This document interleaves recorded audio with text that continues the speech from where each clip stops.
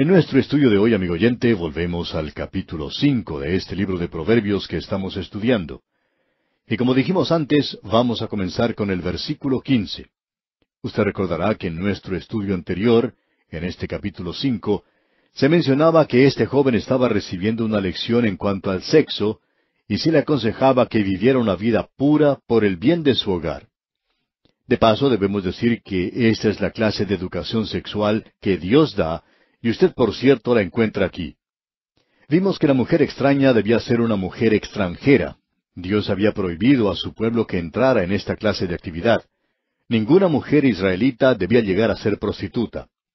Llegó un día en su historia cuando ellos se apartaron tanto de Dios en inmoralidad que a ella se le llamó extraña, extranjera, como usted recordará cuando leímos el versículo 17 del capítulo 2 de este libro de Proverbios, donde decía, la cual abandona al compañero de su juventud y se olvida del pacto de su Dios. Así es que algunas de estas personas también habían llegado a practicar la prostitución, y como resultado se les llegó a considerar extranjeros, porque son extranjeros en cuanto a su relación con Dios. Pues bien, Dios nos está advirtiendo en contra de eso. Ahora Él nos dice algo acerca de la relación que tiene que existir entre el esposo y la esposa. Aquí podemos observar el matrimonio en un plano muy elevado.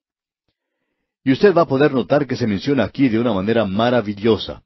Se dice en los versículos quince al diecisiete de este capítulo cinco de Proverbios, Bebe el agua de tu misma cisterna y los raudales de tu propio pozo. ¿Se derramarán tus fuentes por las calles y tus corrientes de aguas por las plazas? Sean para ti solo y no para los extraños contigo. Es decir, sus descendientes deben ser los descendientes de su propia esposa, de la cual ella es la madre. Ahora en los versículos 18 y 19 leemos lo siguiente. Sea bendito tu manantial, y alégrate con la mujer de tu juventud como sierva amada y graciosa Gacela. Sus caricias te satisfagan en todo tiempo, y en su amor recréate siempre. La palabra de Dios nos presenta de una manera muy clara allí que el amor físico y el amor sexual tienen que ser santificados y llevados a un nivel muy alto. Hubo una época cuando hablar de estas cosas era tabú. Ni siquiera eran mencionadas y se opinaba que ellas eran cosas quizá inmorales, aun entre las personas casadas, que era algo sucio o inmundo. Pero usted puede notar que aquí, amigo oyente, Dios eleva esto a un nivel muy elevado. ¿Por qué? Porque el matrimonio, amigo oyente, es algo que Dios le ha dado a la familia humana para el bienestar y beneficio de la humanidad. Y esto es algo que muchas personas están tratando de anular en el día de hoy. Ahora, para el Hijo de Dios como creyente en el hogar cristiano, este tendría que ser el cuadro de una relación entre Cristo y la Iglesia. Y uno no puede tener algo más elevado y santo que esto. Dios ha dicho cosas muy interesantes en relación a esta situación. Ahora mismo, cuando usted escucha de tantos matrimonios que se están separando, esto tendría que ser algo que causa alarma en nuestras iglesias, y debería hacer que la iglesia entera se pusiera de rodillas ante Dios para descubrir lo que anda mal dentro de ella. Cuando una y otra vez un hombre se va de su hogar, lo abandona para irse con otra mujer. Y ocurre no solamente una vez, sino dos y hasta muchas veces más. Y la gente de ese lugar nunca hace nada en cuanto a esa situación. Pues bien, debemos decir que hay algo totalmente mal en ese asunto la palabra de Dios parece que no estuviera penetrando ni su mente ni sus corazones y no está influenciando la vida de aquellos que están en ese lugar. Escuche lo que el escritor de la carta a los Hebreos dice en el capítulo trece de esa carta, versículo cuatro. Honroso sea en todos el matrimonio y el lecho sin mancilla, pero a los fornicarios y a los adúlteros los juzgará Dios. Dios ha dicho que esta es una relación maravillosa, no es algo que tiene que ser tratado como si fuera algo inmundo. Es algo elevado, es algo santo. Pero debemos notar el otro lado de este cuadro donde se nos dice, pero a los fornicarios y a los adúlteros los juzgará Dios. Cierto hombre se acercó al pastor de su iglesia en una ocasión y le dijo que quería irse a vivir con otra mujer. Ahora todos ellos eran miembros de la iglesia, digamos, no estamos muy seguros si eran cristianos o no, pero él dijo lo que iba a hacer. Y usted se puede imaginar lo que el joven predicador le contestó en esa ocasión. Él les dijo las cosas tal cual eran, a lo cual este hombre se levantó y dijo indignado, ¿Me está tratando de robar usted la salvación? A lo cual el pastor le contestó, Hermano, si usted tiene la salvación, yo no estoy tratando de robársela, pero quiero decirle lo siguiente. Quiero que usted recuerde esto. Si usted no es hijo de Dios, entonces usted está actuando según el camino, según las normas de los hijos del diablo. Pero si usted es un hijo de Dios, entonces debo decirle esto. Uno de estos días Dios lo va a tomar a usted y lo va a castigar de tal manera que usted nunca se olvidará de eso y no estoy seguro si Él le perdonará su vida. A esto, este hombre simplemente respondió con una burla. Bueno, pasaron los años, muchos años, y esos dos que se unieron de esa manera han llegado a ser dos personas solitarias, tristes, llenas de frustraciones. Y de seguro que si ellos pudieran, volverían a comenzar todo de nuevo y evitarse los problemas que tuvieron por actuar en la manera que lo hicieron. El apóstol Pedro dice que el esposo y la esposa tienen que morar juntos sabiamente. Y notemos el propósito de eso, que es realmente tremendo. Escuche usted. Para que vuestras oraciones no tengan estorbo. Eso lo encontramos allá en el tercer capítulo de la primera carta del apóstol Pedro. Usted puede leer los primeros versículos de ese capítulo y darse cuenta de lo tremendo que son. Permítanos decirle, amigo oyente, que esto es una prueba verdadera. Cuando el esposo y la esposa viven de tal manera uno para el otro, que tienen gozo y confianza el uno con el otro, que pueden arrodillarse juntos y orar juntos y amar juntos, ese hogar representa la relación que existe entre Cristo y la Iglesia. Y debemos decir, amigo oyente, que eso es algo que Dios puede y va a bendecir. Amigo oyente, esto es muy importante. Bien, volvamos ahora al libro de Proverbios y en este capítulo cinco, versículo veintiuno leemos Porque los caminos del hombre están ante los ojos de Jehová, y él considera todas sus veredas. Este es un versículo que nos llama la atención. Porque los caminos del hombre están ante los ojos de Jehová. Usted tiene que reconocer que Dios lo está observando todo el tiempo. Él siempre lo está mirando. Hay personas que tienen por costumbre blasfemar y maldecir todo el tiempo. Hay veces que se encuentran con personas que son creyentes en el Señor Jesucristo y entonces comienzan a pedir disculpas por el lenguaje que usan. Pero a esa gente se le debe decir que no se debe preocupar por las otras personas que las están escuchando, ya que Dios les está escuchando todo el tiempo. No importa dónde uno esté, lo que usted diga lo dice ante Dios. Los caminos del hombre están ante los ojos de Jehová, y Él considera. Y Él se pregunta, ¿por qué usted actúa en la forma en que lo hace?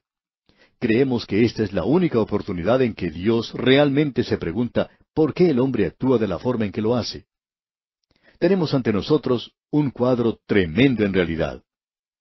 Cierto hombre estaba predicando en una ocasión y dijo, Yo soy un hombre que se está muriendo y estoy hablándole a hombres que están muriendo también. Y eso es lo que somos, amigo oyente yo soy un pecador salvado por gracia, hablando a pecadores que si no son salvos por la gracia, pueden ser salvados por la gracia de Dios. Notemos ahora lo que nos dice el libro de Proverbios al seguir adelante en nuestra lectura. Aquí en los versículos 22 y 23 de este capítulo 5 leemos, Prenderán al impío sus propias iniquidades, y retenido será con las cuerdas de su pecado. Él morirá por falta de corrección, y errará por lo inmenso de su locura. Dios dice que se acerca un día, un día donde habrá que rendir cuentas, un día donde recibiremos retribución. Llegará el día de pago, y ese día se está acercando, amigo oyente. Usted puede pensar que se está saliendo con la suya, pero eso no es así. Y ahora llegamos al capítulo seis de Proverbios, y encontramos aquí que él está diciendo algo que es bueno para el mundo de los negocios del presente, sean creyentes o no lo sean, sea que reconozcan a Dios o no lo reconozcan. Tenemos aquí algunos principios o normas de negocios muy buenos. Como usted puede notar, amigo oyente, Dios ha dado muy buenos consejos para la humanidad, ya sean las personas salvas o no lo sean. Es buen consejo para aquel que se encuentra en este mundo. Y aquí en el capítulo seis de Proverbios, lo importante que él menciona al comienzo es lo siguiente. Ten cuidado de firmar un documento para algún amigo. Y que nunca sea socio con una persona extraña, ese ya es un buen consejo en cualquier ocasión. Y el hombre que no es salvo puede seguir este consejo y tener éxito en sus negocios, y muchos de ellos así lo han hecho. Leamos pues los primeros dos versículos de este capítulo seis de Proverbios. Hijo mío, si salieres fiador por tu amigo, Si has empeñado tu palabra a un extraño, te has enlazado con las palabras de tu boca y has quedado preso en los dichos de tus labios. Esto quiere decir que una persona se ha estado jactando. Aparentemente, una de las razones por la cual los hombres firman un documento con otra persona es que quieren parecer magnánimos. Ellos quieren aparentar que realmente son destacados en el ambiente financiero y que pueden hacer cosas como esas. Pues bien, aquí se nos dice que esto es algo de lo cual tenemos que tener mucho cuidado. Leamos los primeros tres versículos una vez más. Hijo mío, si salieres fiador por tu amigo, si has empeñado tu palabra a un extraño, te has enlazado con las palabras de tu boca, y has quedado preso en los dichos de tus labios. Haz esto ahora, hijo mío, y líbrate, ya que has caído en la mano de tu prójimo. Ve, humíllate, y asegúrate de tu amigo. Quizá usted ha descubierto que tiene un amigo y que de una forma o de otra le ha causado alguna pena. Bueno, no teme ir a él y tratar de arreglar las cosas. Usted tiene que tratar de conservar sus amigos y de tener cuidado de sus enemigos. Eso es lo que se nos dice aquí exactamente, y también se nos dice esto en muchos otros lugares. Ahora el versículo cuatro dice, No des sueño a tus ojos, ni a tus párpados adormecimiento. Es decir, que usted debe arreglar las cosas cuanto antes. Y el versículo cinco continúa, Escápate como gacela de la mano del cazador, y como ave de la mano del que arma lazos. Usted es como un ave que ha sido cazada en la trampa si va y firma un documento para otra persona. Veamos nuevamente el versículo cinco. Escápate como gacela de la mano del cazador y como ave de la mano del que arma lazos. No solo se nos presenta aquí una advertencia, sino que también se nos da el lado positivo de esto.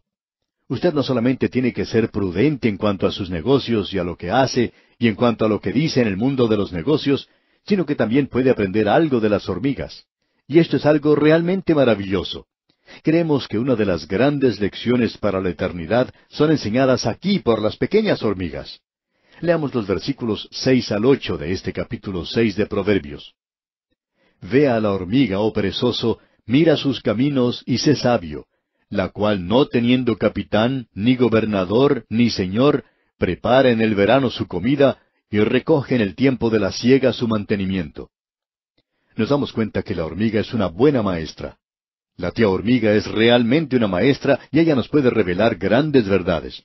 Una de ellas es tan diligente en los negocios como el que más. Esto es algo que el Hijo de Dios debería observar en la hormiga, ocupada siempre, teniendo cuidado de las cosas que son de suma importancia, recogiendo la comida para el invierno, el tener cuidado para el futuro y el ocuparse de eso en el día de hoy. Creemos que uno de los grandes pecados hoy, y quizá hemos mencionado esto antes, de parte del creyente, es el ser perezoso. Y hay muchos de ellos que se encuentran trabajando a tiempo completo. Pero, ¿qué es lo que hace usted con su tiempo libre, amigo oyente? ¿Está usted leyendo la palabra de Dios? ¿Está usted estudiando la palabra de Dios? ¿Qué lección la que nos puede enseñar hoy una hormiguita? ¡Qué buena maestra es! Y el escritor no ha finalizado con esto. Continúa diciéndonos algo en los versículos nueve al doce de este capítulo seis, y dice, Perezoso, ¿hasta cuándo has de dormir? ¿Cuándo te levantarás de tu sueño? Un poco de sueño, un poco de dormitar, y cruzar por un poco las manos para reposo, así vendrá tu necesidad como caminante, y tu pobreza como hombre armado. El hombre malo, el hombre depravado, es el que anda en perversidad de boca. Aquí entramos ahora a otro tema, pero antes de dejar el tema anterior, debemos decir que el ser perezoso es un pecado para un hijo de Dios. La pereza es un pecado, es el perder tiempo. Creemos que una de las peores cosas en este ministerio es la pereza. En cierta ocasión un joven dijo, Pienso que ya yo no sirvo más como predicador. He sido pastor en este lugar por tres años y ya se me han acabado los sermones. Pienso que me he secado como un pozo de agua. Y por supuesto el lenguaje para eso siempre se hace muy piadoso. Él continúa diciendo, he pasado mucho tiempo en oración y meditación. Y entonces alguien le preguntó, ¿cuánto tiempo pasa usted en realidad en la palabra de Dios, estudiando realmente la palabra de Dios? Bueno, él no pudo dar una respuesta muy exacta, pero indicaba que pasaba menos de una hora por semana estudiando la Biblia. Este hombre era un gran promotor, siempre estaba haciendo algo, pero lo más importante siempre quedaba sin hacer. Así es que se le aconsejó lo siguiente, a no ser que usted cambie su forma de actuar, usted debería más bien abandonar el ministerio, porque es una desgracia el presentarse en el púlpito el domingo por la mañana sin estar preparado. Usted tiene que tener algo para decir. Ahora, en el versículo 12 se nos menciona al hombre malo, el hombre depravado. Leamos los versículos 12 y 13. El hombre malo, el hombre depravado, es el que anda en perversidad de boca, que guiña los ojos, que habla con los pies, que hace señas con los dedos. ¿Ha notado usted en algunas personas, especialmente las personas malvadas, que todo lo que hacen, todos los gestos, son siempre sugestivos? Siempre tienen una connotación o sugerencia en su mente. Y hay algunos así llamados cristianos que se encuentran en posiciones similares a esta. Hay personas que siempre dicen algo con doble sentido. En algunos grupos de creyentes se reúnen y comienzan a contar chistes y esos chistes siempre tienen también un segundo significado. Tienen que tener algo que sugiera otra cosa aparte de lo que se está diciendo. Y eso es algo sobre lo cual Dios no muestra su aprobación.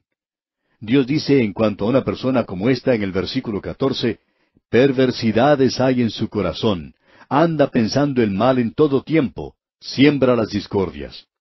Luego en el versículo 15 continúa, por tanto, su calamidad vendrá de repente, súbitamente será quebrantado y no habrá remedio. Tenemos aquí una persona que se supone ser hijo de Dios, y sin embargo, cada movimiento con su cuerpo es sugestivo. Ahora no deseamos aceptar modestia en referirnos a la televisión, pero hay algunos programas que no me gusta mirar, porque están cargados de ideas y sugerencias de doble significado.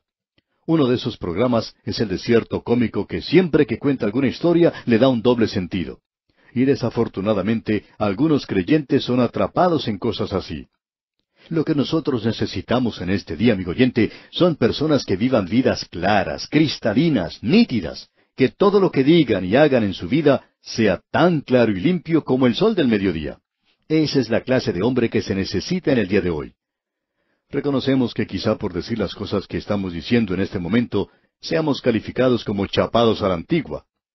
Hay algunos que piensan que tenemos que vestir con el último grito de la moda, que nuestro cabello tiene que estar arreglado según dictan los estilos del presente y que todo tiene que ser de esa manera. Sin embargo, uno puede ver a estos así vestidos que no dejan de observar a las muchachas aunque sean casados. Su esposa no está muy segura de un hombre que sea así, y sin embargo, nosotros decimos que tiene una linda o buena personalidad. Debemos decir, amigo oyente, y lo vamos a decir tan claramente como sea posible, que en el día de hoy tenemos demasiadas personas como estas en el servicio cristiano y no estamos llegando a ninguna parte así. ¿Y sabe por qué? porque Dios no puede ser burlado, no puede ser engañado. Todo lo que el hombre sembrare, eso también segará. Y si usted siembra para la carne, usted va a cegar de la carne corrupción. Y cuando usted siembra del Espíritu, entonces va a cegar aquello que es para vida eterna. Dios no puede ser engañado hoy, amigo oyente. Nuestro Dios demanda una vida santa de nosotros. Ahora alguien quizá pregunte, ¿por qué? A lo cual contestamos, porque Él es santo, Él es esa clase de Dios, y Él va a bendecir a esa clase de persona, y también está interesado en personas así. Ah, amigo oyente, usted y yo necesitamos reconocer que estamos tratando con un Dios santo. En este capítulo seis del libro de Proverbios que estamos considerando hoy, y que veremos también en nuestro próximo estudio, tendremos siete cosas que Dios aborrece. Alguien quizá nos diga, ¿cómo es eso? No creo haberlo entendido bien. ¿Dijo usted que Dios aborrece siete cosas? Así es, amigo oyente. Bueno, alguien quizá diga, yo pensaba que Dios era amor. Sí, claro, Él es amor. Pero esperamos que usted piense sobre lo que acabamos de decir hasta nuestro próximo estudio. Que Dios aborrece algo también. Él aborrece algunas cosas. Y Él dice que lo hace. Veremos pues esto con atención, Dios mediante, en nuestro próximo estudio. Mientras tanto, lea usted el resto de este capítulo y quizá usted puede descubrir por sí mismo lo que acabamos de decir y qué es lo que Dios dice que aborrece. Llegamos hoy, amigo oyente, otra vez a este capítulo seis del libro de Proverbios que iniciamos en nuestro estudio anterior. Y hoy vamos a comenzar con el versículo dieciséis. En nuestro estudio anterior hicimos la sugerencia de que íbamos a observar las siete cosas que Dios aborrece. Ahora aquí se nos dice que Él aborrece estas cosas, y vamos a observar y considerar este pasaje muy detenidamente. Como usted habrá notado ya, al avanzar en este estudio de este libro, de vez en cuando tomamos y analizamos detenidamente algunos proverbios. Notemos pues lo que dice el versículo 16 de este capítulo 6 de Proverbios. Seis cosas aborrece Jehová, y aun siete abomina su alma. Bien, aquí tenemos la lista. Comenzamos con el versículo 17 y avanzamos hasta la primera parte del versículo 18. Los ojos altivos, la lengua mentirosa, las manos derramadoras de sangre inocente, el corazón que maquina pensamientos inicuos. La quinta cosa es mencionada en la segunda parte del versículo 18, donde dice, los pies presurosos para correr al mal. Luego la sexta y la séptima las encontramos en el versículo 19 el testigo falso que habla mentiras y el que siembra discordia entre hermanos. ¿No le parece esto interesante, amigo oyente? Hay siete cosas aquí que Dios dice que Él aborrece. Pero no dice nada acerca del maquillaje, ¿verdad? Ni tampoco se menciona nada aquí acerca de cosas que nosotros creemos son de tanta importancia. Y estas cosas mencionadas aquí son cosas sobre las que nosotros pasamos sin echarles una mirada en la iglesia contemporánea. Sí, son simplemente ignoradas. Lo interesante aquí, y la forma extraña de expresarlo, es que estas son cosas que Dios aborrece.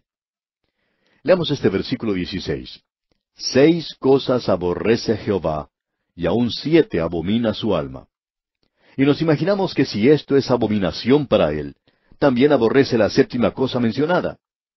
Ahora nosotros presentamos este interrogante. ¿Aborrece Dios? Y la idea del presente, la concepción de nuestra época, es que Él no aborrece. Y bueno, alguien quizá diga, después de todo, ¿no tenemos una de las definiciones de Dios como que Él es amor? Por cierto que eso es verdad, eso es cierto. Y ya que eso es cierto, entonces sería imposible para Él aborrecer porque Él es amor. Y más aún, cuando Él ama, Él no podría al mismo tiempo aborrecer. Bueno, este tipo de razonamiento, opinamos, es un argumento falaz y ciertamente no es satisfactorio. Hay gente que utiliza un método filosófico en el día de hoy conocido como el método del razonamiento silogístico. Es una filosofía de deducción y puede presentarse de la siguiente forma. Podemos decir que este es un silogismo, un argumento que consta de tres proposiciones, la última de las cuales se deduce de las otras dos. En primer lugar, tenemos una premisa principal, y esta es que Dios es amor. Ahora la segunda es que el amor es lo contrario al aborrecimiento o al odio. Eso es algo preciso. Pero notemos la conclusión a la que se llega. Si ambas cosas son ciertas, entonces Dios no aborrece. Bueno, debemos decir que el problema con esto es que aquí hay algo que es imperfecto, insensato, falaz e ilógico, porque uno no puede llegar a una conclusión de esta manera al no poder transportar esto al nivel humano. Y en realidad es imposible amar a alguien sin aborrecer u odiar lo opuesto de ese individuo o persona, es decir, aquello que puede herir a esa persona. Permítanos ilustrar esto de una forma sencilla. Usted ama a su hijo, y de la misma manera usted odia, aborrece la fiebre que está consumiendo a este niñito. Usted odia al perro rabioso con espuma en el hocico que entra a su casa y puede morder a su pequeño niño y darle muerte. Usted no se pone a llamar a un perro rabioso y a darle palmaditas en la cabeza e invitarle a que juegue con su niño, porque usted ama todo, ¿verdad? Usted sería una persona bastante insensata si hiciera algo así. Si usted ama a su hijito, entonces usted va a aborrecer o va a odiar a ese perro rabioso. Tiene que ser de esa manera. El amor, amigo oyente, siempre requiere lo opuesto, lo contrario al odio. Mientras vivamos en un mundo de contraste, vamos a tener estas cosas opuestas.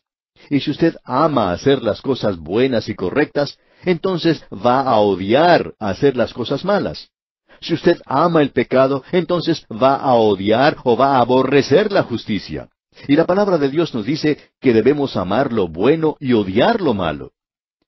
Cuando lleguemos a estudiar el libro de Eclesiastés, que es el próximo en el Antiguo Testamento, Vamos a estudiar un libro del Nuevo Testamento antes de hacer eso, pero allí se nos dice que hay tiempo de amar y tiempo de aborrecer. Alguien ha dicho lo siguiente, y eso viene muy bien a este tema de proverbios que estamos viendo. Hay tiempo para partir y tiempo para reunir. Hay tiempo para dormir y tiempo para comer. Hay tiempo para trabajar y tiempo para jugar. Hay tiempo para cantar y tiempo para orar. Hay un tiempo que es alegre y un tiempo que es triste. Hay tiempo para planear y tiempo para obrar. Hay tiempo para sonreír y tiempo para mostrar firmeza, pero nunca ha habido tiempo para desistir.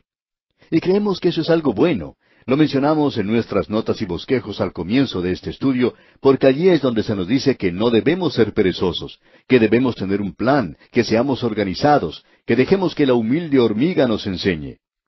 Así es que vemos ahora que Dios ama, pero que también aborrece.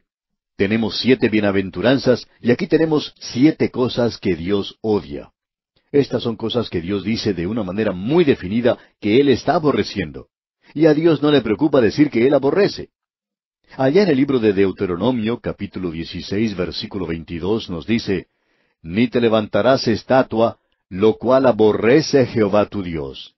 Dios está diciendo, cualquier cosa que coloques en mi lugar, yo aborrezco eso que ocupa mi lugar. Aún en ese gran salmo del milenio, el Salmo 45, versículo 7 dice, Has amado la justicia y aborrecido la maldad.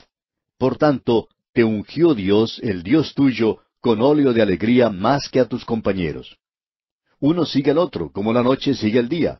Y cuán maravilloso es poder notar estas cosas en la palabra de Dios. Dios le dijo a la iglesia, a esa iglesia primitiva que se menciona allá en Apocalipsis capítulo dos, versículo seis, pero tienes esto, que aborreces las obras de los Nicolaitas, las cuales yo también aborrezco. Dios dice, yo también aborrezco. Y a Dios no le preocupa decir que Él aborrecía ciertas cosas, y aquí las tenemos mencionadas. Existe cierto sabor en las sagradas escrituras, quizá como lo que podemos notar en ciertas comidas preparadas por los chinos y los europeos un arte muy delicado como es el de combinar lo dulce con lo agrio. Dios es amor, y de la misma manera podemos indicar que Dios aborrece. Y las escrituras indican eso de una manera adecuada. Aquí en este libro de Proverbios vemos que se ha destacado siete cosas que Dios aborrece. Y este número siete aquí no indica perfección, sino algo acabado. Es decir, es un aborrecimiento completo de esas cosas, que todas estas cosas son obra de la carne. Estas son cosas que revelan la depravación y la completa degradación de la especie humana. Y Dios ha indicado que Él aborrece estas cosas. Dios niega la tesis del modernismo de que Él es un anciano y sentimental que llora pero que nunca obra, que Él cierra sus ojos a los pecados de la humanidad y que tolera lo malo y perdona porque no tiene el valor como para castigar el pecado. Dios dice, yo amo, pero Dios también dice, yo aborrezco. Eso de tener que ser caritativo con el culpable porque no tiene el valor de ir adelante con un programa firme de castigo, eso es lo que corroe y arruina nuestra sociedad en el día de hoy, el no estar dispuestos a castigar al culpable. Dios dice que lo hace, y Dios no le teme a la opinión pública, ni tampoco trata de apartarse de la apariencia de ofender al hombre, porque dice que es cobarde.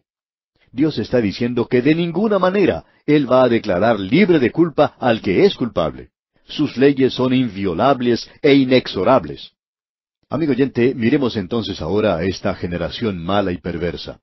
Esto pertenece a la cuenta del aborrecimiento del libro mayor hablando contablemente. Lo primero que aborrece Dios es los ojos altivos. Ahora, ¿qué es esto? Bueno, esta es una actitud con la cual uno se sobreestima o se da demasiado valor y menosprecia a los demás. Eso es orgullo. Eso es sentarse en la iglesia y echarle una mirada a las otras personas pensando que usted es mejor que ellos.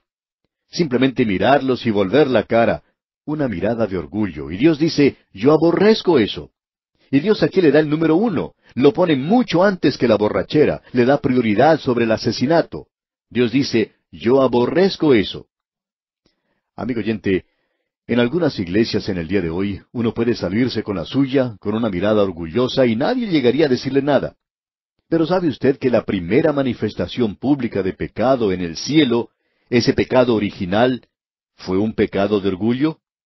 Fue cuando Satanás, ese ángel de la mañana, dijo, Subiré al cielo, en lo alto, junto a las estrellas de Dios, levantaré mi trono. Él fue quien le dijo al hombre en el jardín del Edén, y seréis como Dios. Es muy interesante notar en el día de hoy que detrás de todas estas cosas, confusión psicológica y estas enfermedades psicosomáticas, es el tronco del árbol del cual salen todas las anormalidades. ¿Y sabe usted qué es esto? La falta de poder llegar a ser una personalidad completa. Yo quiero ser alguien, quiero tener cierta posición, y una de esas cosas es el declarar mi independencia de Dios. Quiero ser mi propio Dios. Yo mismo, aunque pequeño, soy mi Dios. Bueno, esa es la razón por la cual tiene tanta aceptación en el día de hoy el obrar por nuestra propia salvación.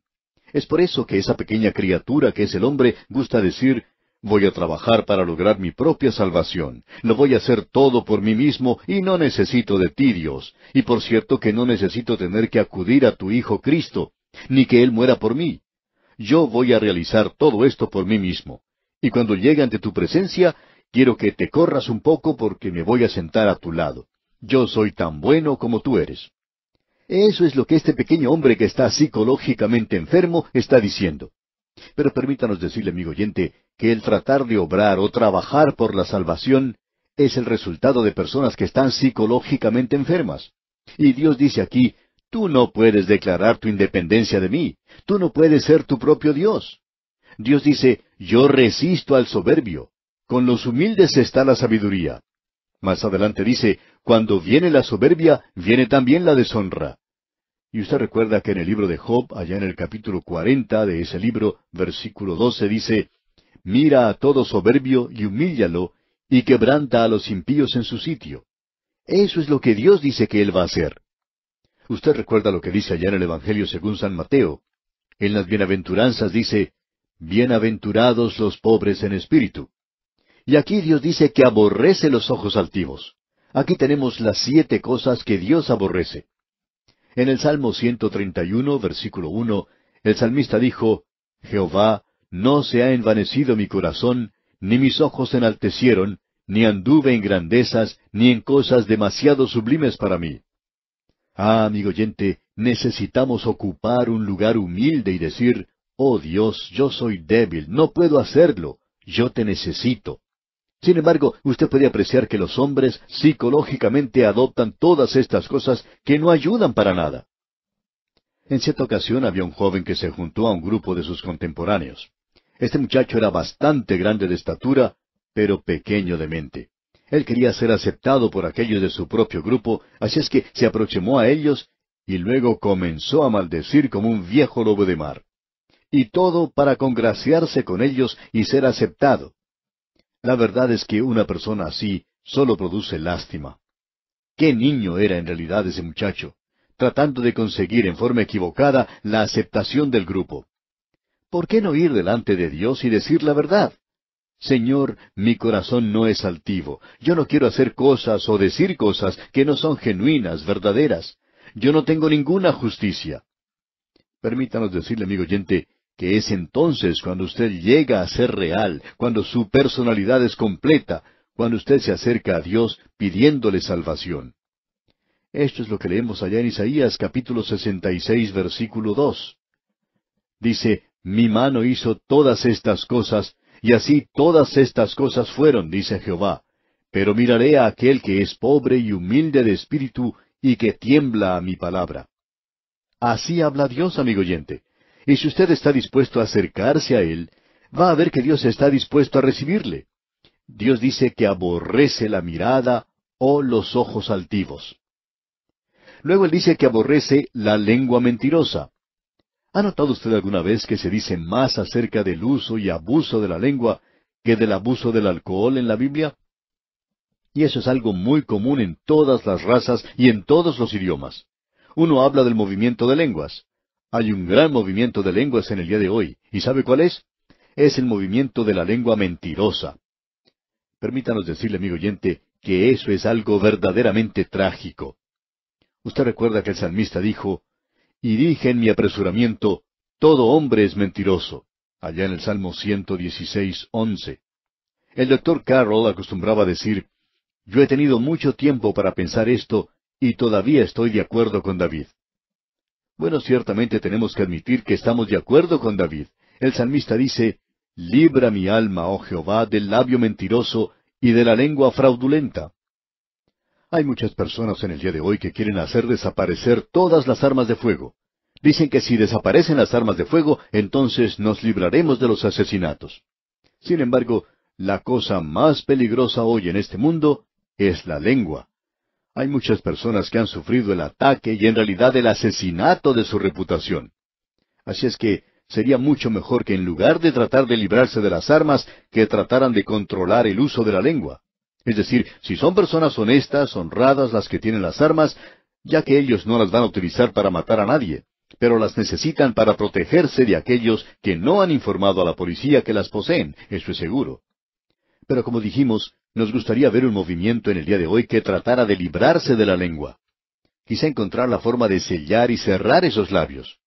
Dios dice que aborrece la lengua mentirosa. Y Dios es verdad, tenemos que decir de paso. Y Dios aborrece la mentira. El salmista dice nuevamente en el Salmo 31, versículo 5, En tu mano encomiendo mi espíritu. Tú me has redimido, oh Jehová, Dios de verdad. Eso es maravilloso. Ahora, la tercera cosa que Dios dice que aborrece es las manos derramadoras de sangre inocente. Eso se repite otra vez allá en la epístola a los Romanos capítulo tres. Un asesino es particularmente odioso y aborrecible ante Dios y los hombres. La diferencia es simplemente lo siguiente. Dios dice que el asesino, el criminal, debe ser castigado. ¿Por qué? Porque tomó aquello que Dios considera sagrado, la vida humana. En nuestros días esto no es así. La vida humana no llega a ser preciosa hasta cuando alguien ha sido asesinado y se apresa a su asesino. Entonces la vida del asesino se convierte en algo precioso. Dios dice que la vida humana es preciosa, y cuando este hombre disparó y dio muerte a otro, entonces él tiene que dar por perdida su propia vida. Esa es la enseñanza, según creemos, de la palabra de Dios. Por lo menos así lo estimamos nosotros. Ahora, en la primera parte del versículo 18 se menciona la cuarta cosa el corazón que maquina pensamientos inicuos. Pensamientos de iniquidad. Y creemos que todos los hombres tienen malos pensamientos. Usted recuerda que el Señor Jesucristo dijo, del corazón proceden ciertas cosas. Y amigo oyente, son muy malas las cosas que salen del corazón humano, porque del corazón salen los malos pensamientos, los homicidios, los adulterios, las fornicaciones, los hurtos, los falsos testimonios, las blasfemias. Y de paso, amigo oyente, ¿ha confesado usted alguna vez a Dios lo que ha pensado y lo que tenía en su corazón? Bueno, necesitamos hacer eso. La anatomía del mal y de la iniquidad. Los ojos, la lengua, las manos, el corazón. Ahora lo próximo que se va a mencionar son los pies. Y notemos lo que dice la segunda parte del versículo 18. Los pies presurosos para correr al mal. ¿Sabe, amigo oyente, que el corazón prepara el camino que van a recorrer los pies? Es interesante notar lo que Isaías dice en el capítulo 59 de su libro, versículo 7. Sus pies corren al mal, se apresuran para derramar la sangre inocente. Sus pensamientos, pensamientos de iniquidad, destrucción y quebrantamiento hay en sus caminos. Estas son las cosas que Dios dice que aborrece. Ahora la sexta cosa mencionada aparece aquí en la primera parte del versículo 19, y dice, el testigo falso que habla mentiras habla del testigo falso, un hombre dispuesto a jurar en falso. Y en el día de hoy esto parece ser uno de los pecados más comunes de esta era presente. Notemos ahora la séptima y última cosa que Dios dice que aborrece en la segunda parte de este versículo 19. El que siembra discordia entre hermanos. Existe una bienaventuranza contra esto. Bienaventurados los pacificadores.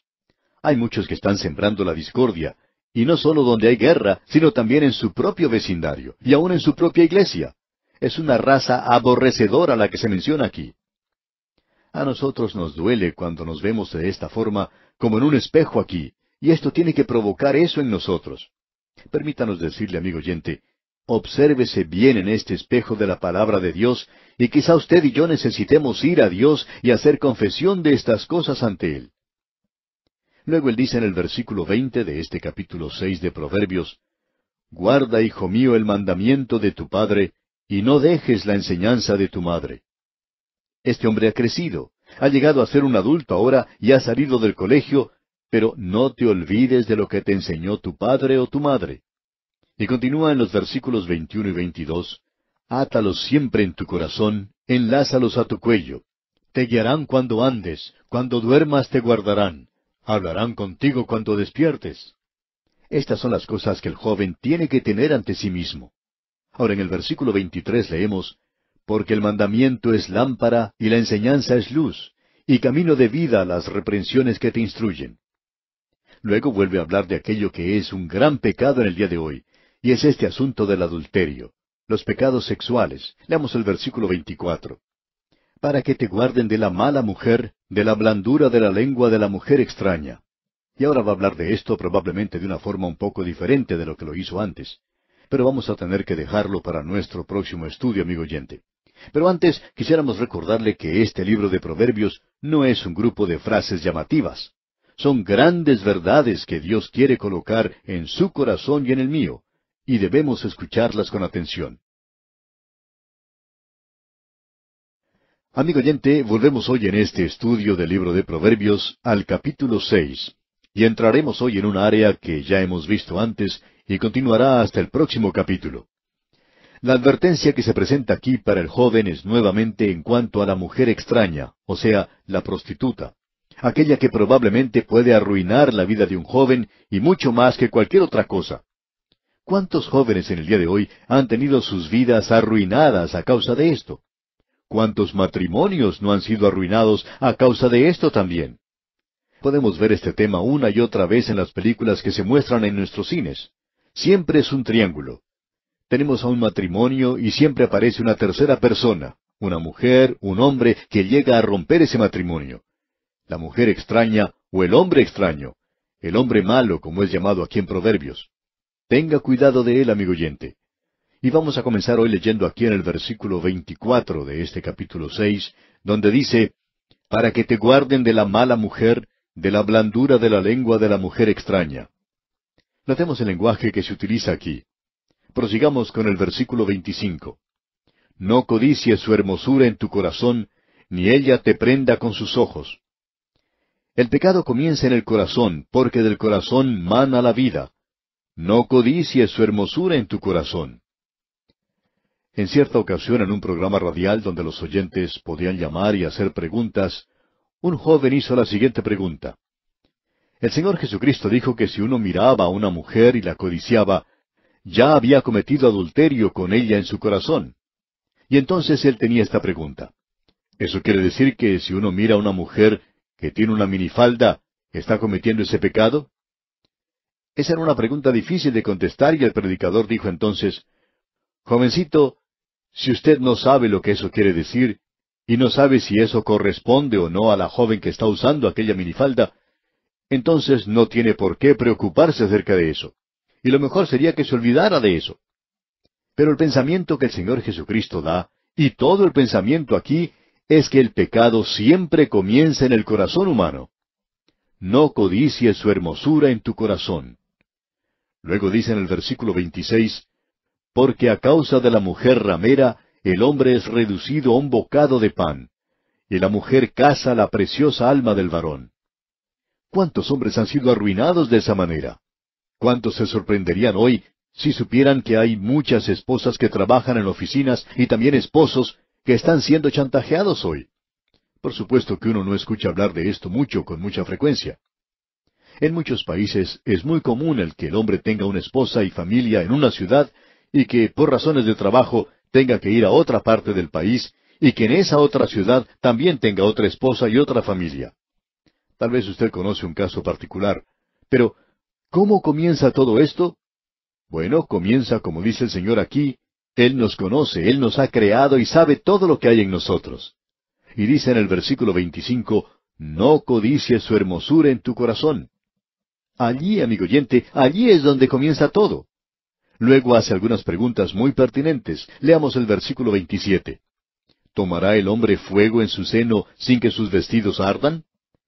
Y creemos que la respuesta es obvia. Ahora el versículo 28 dice, ¿Andará el hombre sobre brasas sin que sus pies se quemen? Tenemos unos cuantos fanáticos que hacen eso. Pero uno siempre se quema los pies cuando camina sobre las brasas, de eso no hay duda.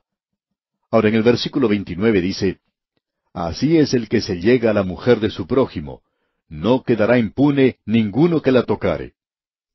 Es sorprendente encontrar esto en la Escritura, y es sorprendente que eso actúa en la vida humana. Y aparentemente Dios ha pensado en cosas relacionadas a esto, y es que si un hombre comete adulterio, él no es inocente, no importa lo que él diga. Y aquí se nos da una ilustración en el versículo treinta. Dice, No tienen en poco al ladrón si hurta, para saciar su apetito cuando tiene hambre. Si un hombre tiene hambre y roba, bueno, la gente simpatiza con él. En cierta ocasión un hombre fue arrestado por robar, y se descubrió que él tenía unos niños en su casa que estaban padeciendo hambre. Ahora, ¿qué haría usted en un caso así? Pues bien, si fuera mi caso, y mis hijos estuvieran padeciendo hambre, yo saldría a buscar comida para ellos. Hablando honradamente, tendría que encontrar algo para ellos, y si no tengo dinero, pues entonces tengo que conseguir comida de la mejor manera que pueda. ¿Por qué? Pues no leamos el versículo treinta otra vez, y leamos también el treinta y uno de este capítulo seis de Proverbios.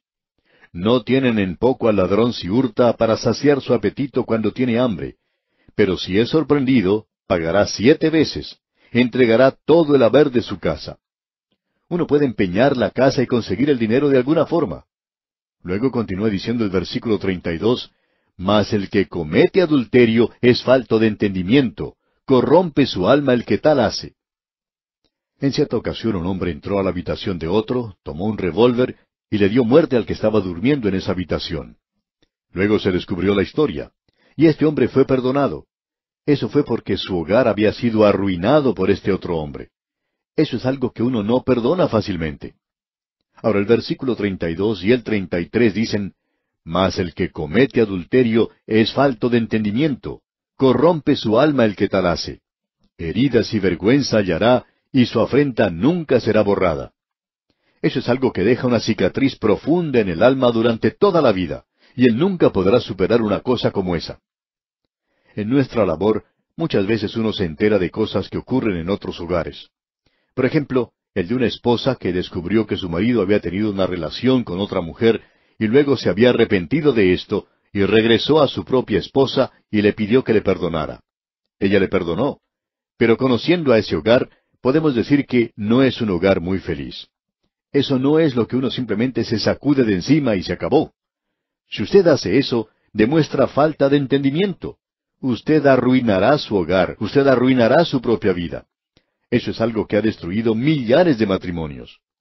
Ahora en el versículo 35 de este capítulo 6 de Proverbios dice, No aceptará ningún rescate, ni querrá perdonar, aunque multipliques los dones. ¿Por qué? Por lo que dice el versículo 34, leamos. Porque los celos son el furor del hombre, y no perdonará en el día de la venganza. Esto es en realidad algo tremendo.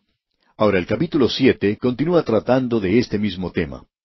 El pensamiento principal que encontramos aquí es el de tener cuidado de la mujer de moral ligera. Y en los primeros cuatro versículos leemos, Hijo mío, guarda mis razones, y atesora contigo mis mandamientos. Guarda mis mandamientos y vivirás, y mi ley como las niñas de tus ojos. Lígalos a tus dedos, escríbelos en la tabla de tu corazón Di a la sabiduría, tú eres mi hermana, y a la inteligencia, llama parienta.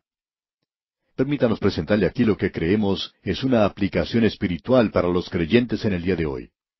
Creemos que esto tiene una interpretación literal, pero también la tiene en forma espiritual. Habiendo dicho lo que dijo en esos primeros versículos, escuche lo que dicen los versículos cinco al catorce ahora.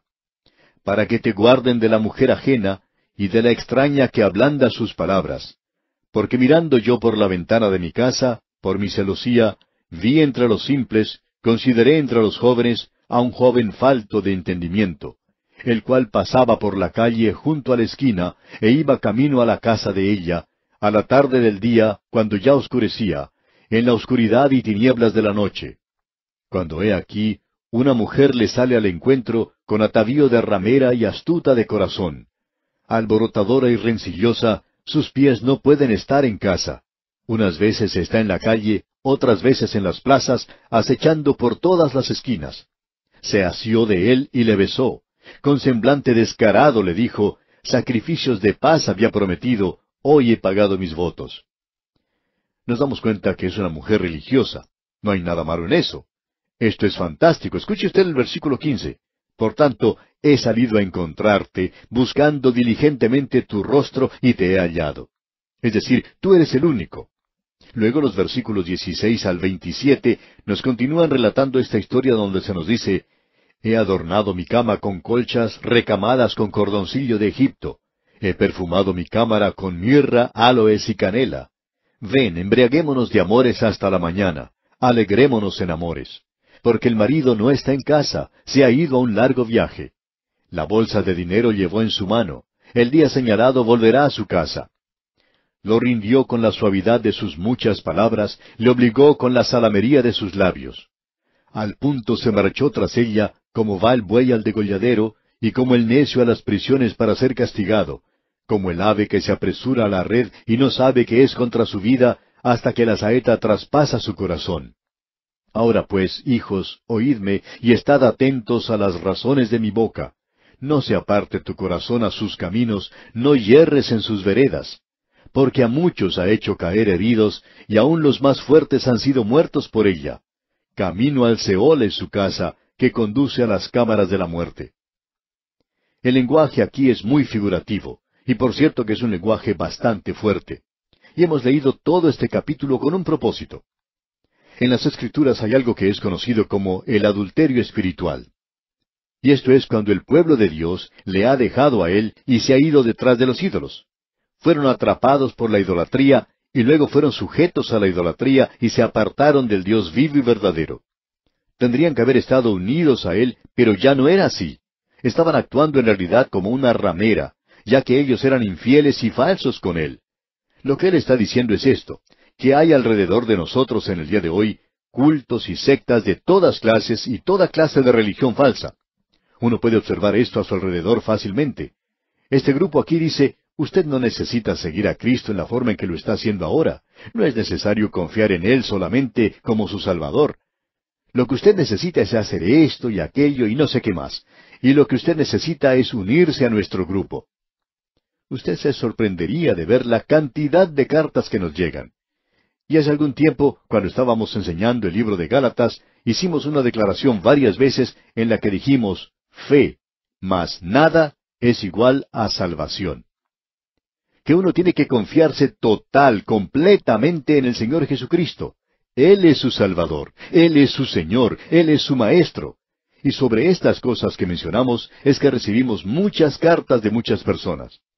Algunas nos decían cosas bastante feas. Entre otras cosas decían, ustedes dijeron que tendríamos que deshacernos de la ley. Bueno, no dijimos nada por el estilo.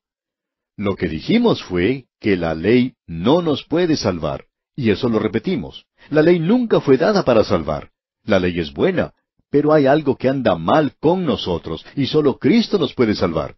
Y cuando nosotros nos volvemos de nuestros propios esfuerzos, de nuestras propias obras, de las cosas que hacemos hoy, y nos volvemos a Él, entonces podemos ser salvos.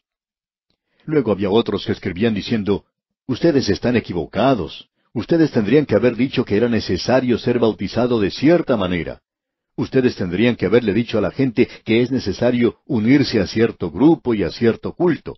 Un hombre hasta escribió diciendo, tiene que decirle a la gente que tiene que guardar la ley, tienen que cumplirla, aun si confían en Cristo, tienen que cumplir con la ley. Bueno, amigo oyente, nosotros estamos unidos a Cristo. Y Él dice, si me amáis, guardad mis mandamientos. Y sus mandamientos no son algo penoso. Nosotros debemos amarnos unos a otros. Tenemos que ser llenos del Espíritu. Tenemos que testificar al mundo. Esos son sus mandamientos en el día de hoy. Y hoy nosotros estamos unidos al Cristo viviente. Tenemos que vivir en un nivel mucho más elevado y ser frutos del Espíritu. Los frutos del Espíritu deberían estar en nuestras vidas y en nuestros corazones. Debemos decir esto cuidadosamente. Los cultos y las sectas de hoy se han presentado como una mujer de la calle porque es lisonjera y llama a los hombres y mujeres. Salen a la calle, golpean a su puerta, les entregan folletos. Bueno, usted los puede encontrar por todas partes. Esta mujer está muy activa en el día de hoy. Amigo oyente, escuche y tenga cuidado. Es una prostituta. Ella quiere apartarle a usted de Cristo, digamos de paso. Ella quiere que usted se una a alguna otra cosa. Quiere que usted se una a una clase de sistema, de método en el día de hoy, amigo oyente. Existe una prostituta espiritual que se encuentra en las calles en el día de hoy y nos entristece decir esto, pero se está aprovechando de la radio también y de muchos otros medios en la actualidad. Está tratando de atraerlo a uno y engañarlo. Y aquí se nos dice que cuando se rinde, uno es como un buey que va al degolladero. Cuando uno va así, es como un tonto que necesita ser corregido, cuando uno sigue esta clase de cosas. Es decir, que Dios está diciendo que usted no es muy inteligente cuando está haciendo esta clase de cosas. Ah, amigo oyente, el acercarnos a Él y decidirse por la persona de Cristo y por ninguna otra cosa. ¡Qué cuadro el que tenemos aquí! Y este es un cuadro tremendo, amigo oyente. Estamos seguros va a herir a muchas personas. ¿Y quieres saber algo más? Vamos a recibir también algunas cartas para tratar de corregirnos. Quizá eso sea necesario, pero para nosotros aquí tenemos uno de los mejores cuadros que representan a los cultos y a las sectas por medio de esta prostituta que se ha arreglado, aparece atractiva y ofreciéndole algo al hombre hoy que en realidad terminará por destruirlo y enviar al hombre al infierno, y apartándolo de Jesucristo, quien es realmente quien ama nuestra alma hoy. ¡Qué cuadro el que tenemos aquí! Y así llegamos ahora al capítulo ocho de este libro de Proverbios, y tenemos aquí un cambio a lo que se está presentando.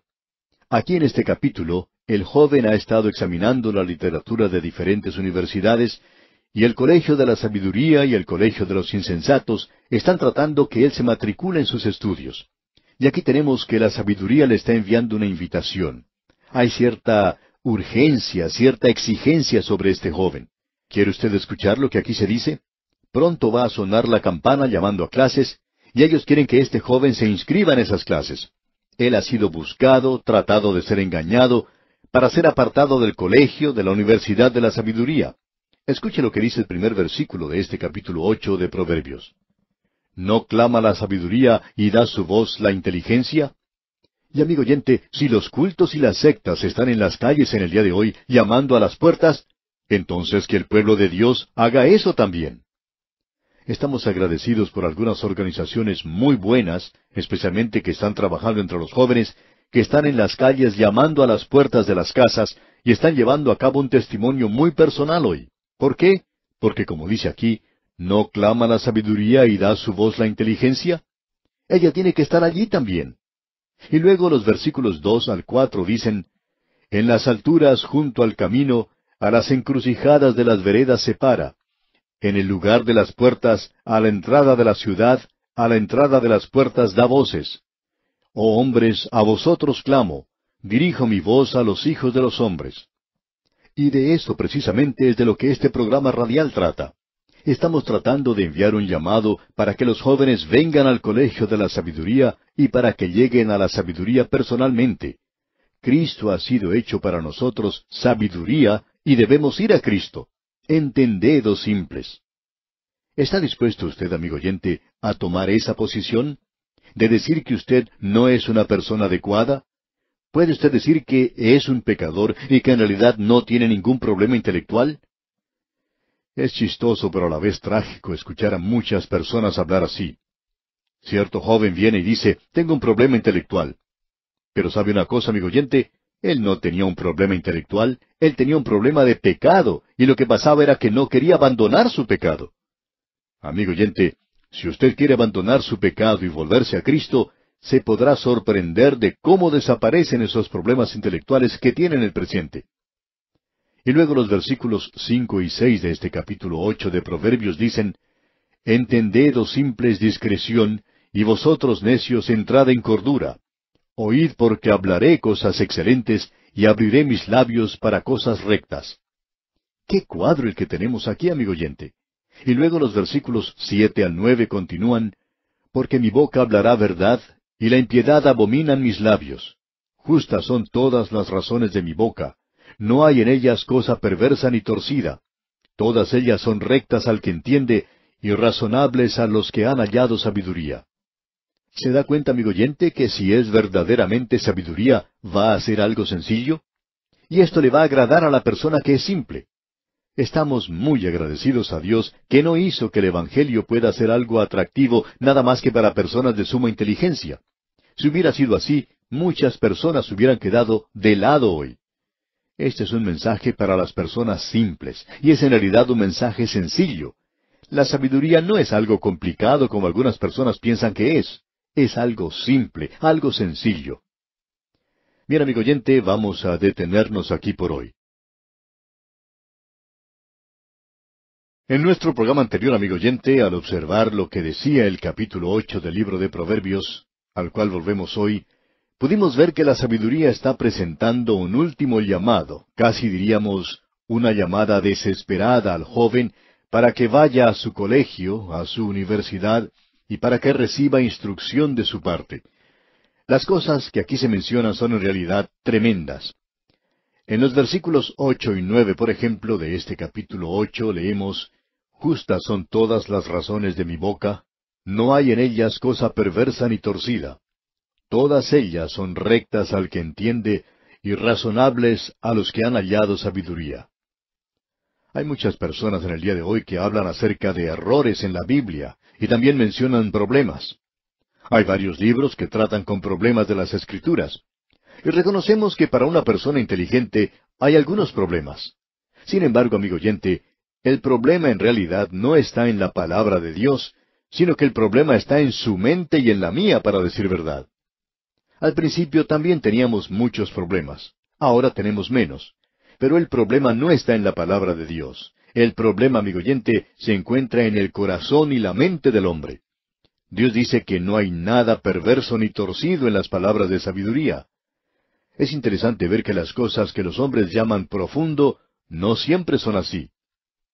Hay un pasaje muy interesante en las Sagradas Escrituras, el cual observamos allá en la segunda epístola a los Corintios, y al cual hemos hecho referencia varias veces, y vamos a continuar haciendo referencias a él. Creemos que es absolutamente profundo, sin embargo, muy sencillo. Y nos referimos al pasaje que se encuentra en el capítulo tres de esa segunda epístola a los Corintios, versículos trece y catorce. Y allí dice, No como Moisés, que ponía un velo sobre su rostro, para que los hijos de Israel no fijaran la vista en el fin de aquello que había de ser abolido pero el entendimiento de ellos se embotó, porque hasta el día de hoy, cuando leen el antiguo pacto, les queda el mismo velo no descubierto, el cual por Cristo es quitado. Bueno, existe un velo sobre sus ojos. Ahora, inmediatamente estamos seguros que alguien nos va a decir, bueno, si existe un velo sobre sus ojos, si no pueden ver, entonces ellos no son responsables. Bueno, eso es lo que muchos están diciendo en el presente. Tengo un velo sobre los ojos, no puedo comprender esto. Pero ese no es su problema, amigo oyente. Tenemos que darnos cuenta que ese velo ha sido quitado por Cristo, como lo hemos podido leer ahora. Pero en el versículo quince del capítulo tres de la segunda epístola a los Corintios dice, Y aún hasta el día de hoy, cuando se lee a Moisés, el velo está puesto sobre el corazón de ellos. Pues bien, aquí dice que el velo está puesto sobre el corazón de ellos. ¿Qué podemos decir sobre eso? Aquí tenemos el versículo 16, que es un versículo de suma importancia, y ahí dice, Pero cuando se conviertan al Señor, el velo se quitará. Ese velo que se encuentra en el corazón de ellos será quitado cuando ellos se conviertan al Señor. Entonces podemos notar que el problema no existe en la cabeza, sino que es un problema del corazón. Existen muchos problemas en el corazón en el día de hoy.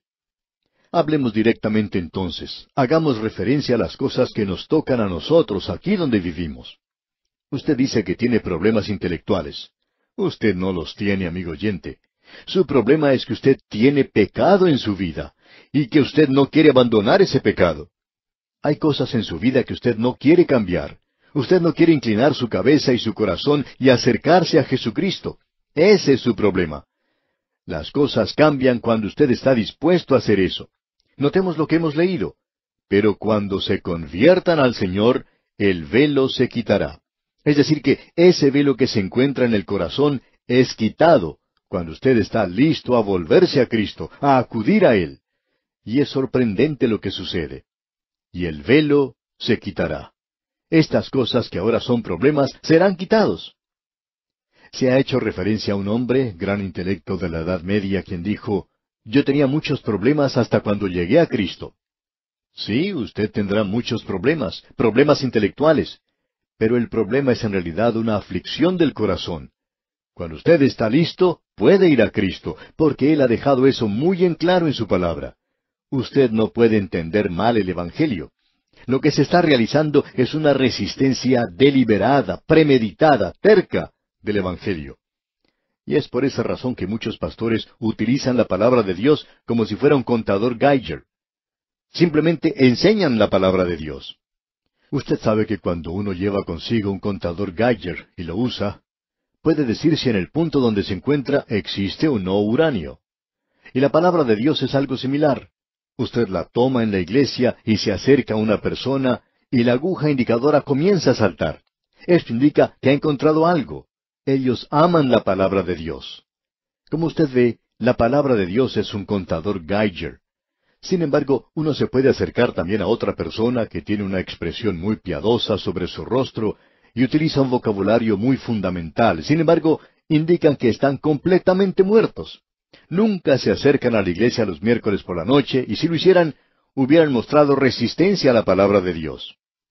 Uno siempre encuentra pequeños grupos que están resistiendo a la palabra de Dios. Ahora alguien quizá diga, bueno, ¿y por qué no se trata con ellos directamente? Tenemos que dejar que Dios haga eso, amigo oyente.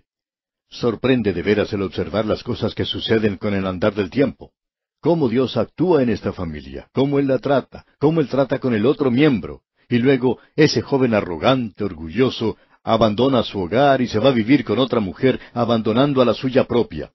Y eso sucede una y otra vez. Permítanos decirle, amigo oyente, que había pecado en su vida, que ese es el problema del día de hoy. Hacemos énfasis en esto, amigo oyente, porque Dios indica eso claramente. No hay ninguna cosa torcida ni perversa en la palabra de Dios. Él le dice a usted que no le agrada para nada el pecado. Quizás a usted le gusta el pecado, y no le va a gustar Dios, y no le gusta el predicador que está proclamando la palabra de Dios. Entonces, amigo oyente, usted va a resistirlo mucho.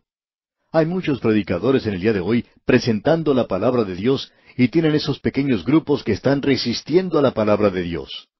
Y ellos, amigo oyente, tienen su vocabulario propio. Ah, parecen ser muy piadosos.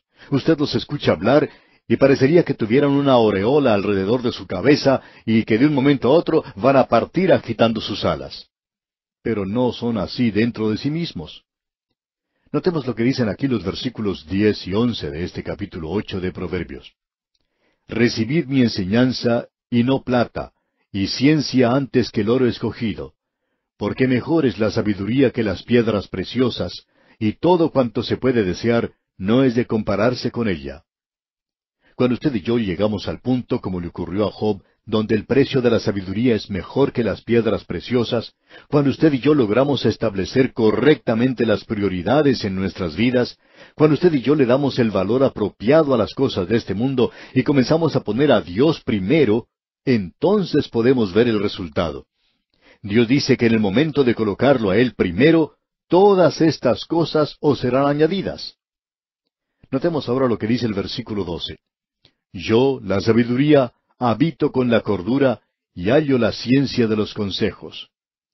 Vamos a descubrir, como ya hemos sugerido, que la palabra de Dios nos presentará muy claramente que la sabiduría es una persona, y la persona es el Señor Jesucristo.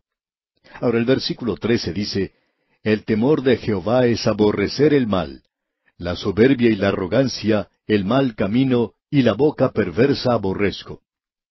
Esto es algo que es muy cierto en el día de hoy, amigo oyente. Esto es algo que nos toca muy de cerca. La sabiduría se manifiesta. Es el carácter de Dios, y ese carácter se ha demostrado en Cristo Jesús.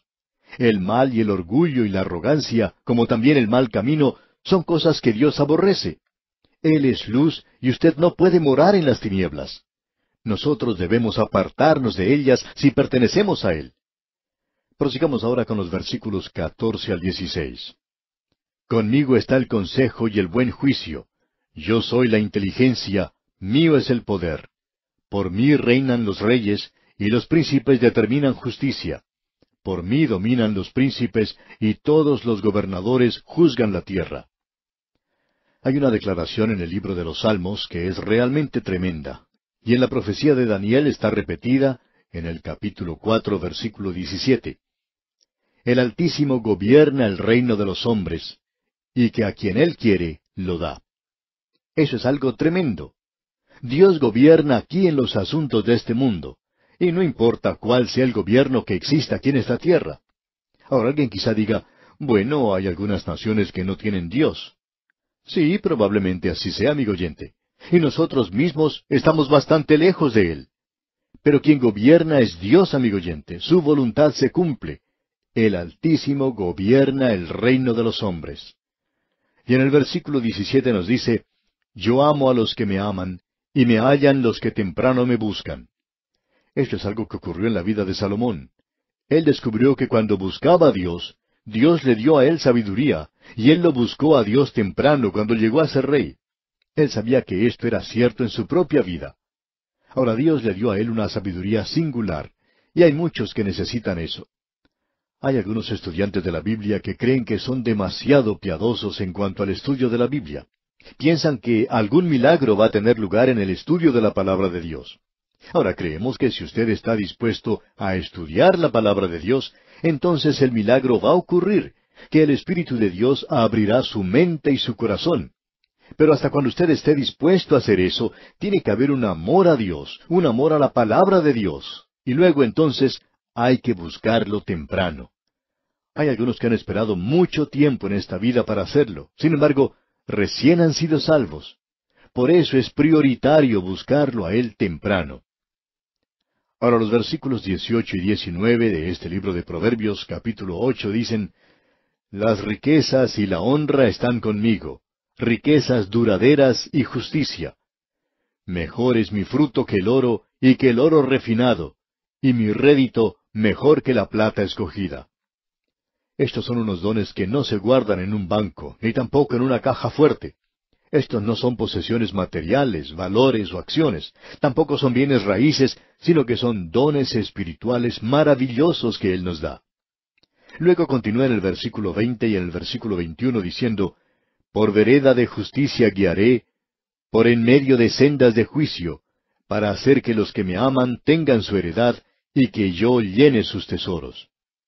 Creemos que de aquí en adelante usted descubrirá que el Señor Jesucristo es mencionado porque aquí tenemos a uno que está en medio de sendas de juicio para hacer que los que me aman tengan su heredad, dice aquí. Notemos lo que dice en el versículo 22. Jehová me poseía en el principio, ya de antiguo, antes de sus obras. Ese es el Señor Jesucristo, eso es sabiduría. Y en el versículo 23 dice, Eternamente tuve el principado desde el principio, antes de la tierra. Así es que aquí tenemos mencionado al Señor Jesucristo. Ese es el que es mencionado en el Evangelio de Juan, en ese prólogo donde dice, En el principio era el Verbo, y el Verbo era con Dios, y el Verbo era Dios. Este era en el principio con Dios. Él fue engendrado no en el mismo sentido de comenzar la vida, sino como siendo de una naturaleza y sustancia con el Padre. Allá en la eternidad, Él era Dios, y Él estaba en el comienzo con Dios. Él estaba en el comienzo que no tiene comienzo, porque en el comienzo Él era el Verbo. Él era tiempo pasado a la hora del comienzo. Y Él es quien hoy, Él es el único que nos puede aclarar esto. Él fue engendrado no en el mismo sentido de comenzar la vida, sino como siendo de una naturaleza y sustancia con el Padre. Allá en la eternidad Él era Dios y Él estaba en el comienzo con Dios. Él estaba en el comienzo que no tiene comienzo, porque en el comienzo Él era el Verbo. Él era tiempo pasado a la hora del comienzo. Y Él es quien hoy, Él es el único, que nos puede aclarar esto. El Señor Jesucristo dijo, Nadie conoce al Hijo sino el Padre.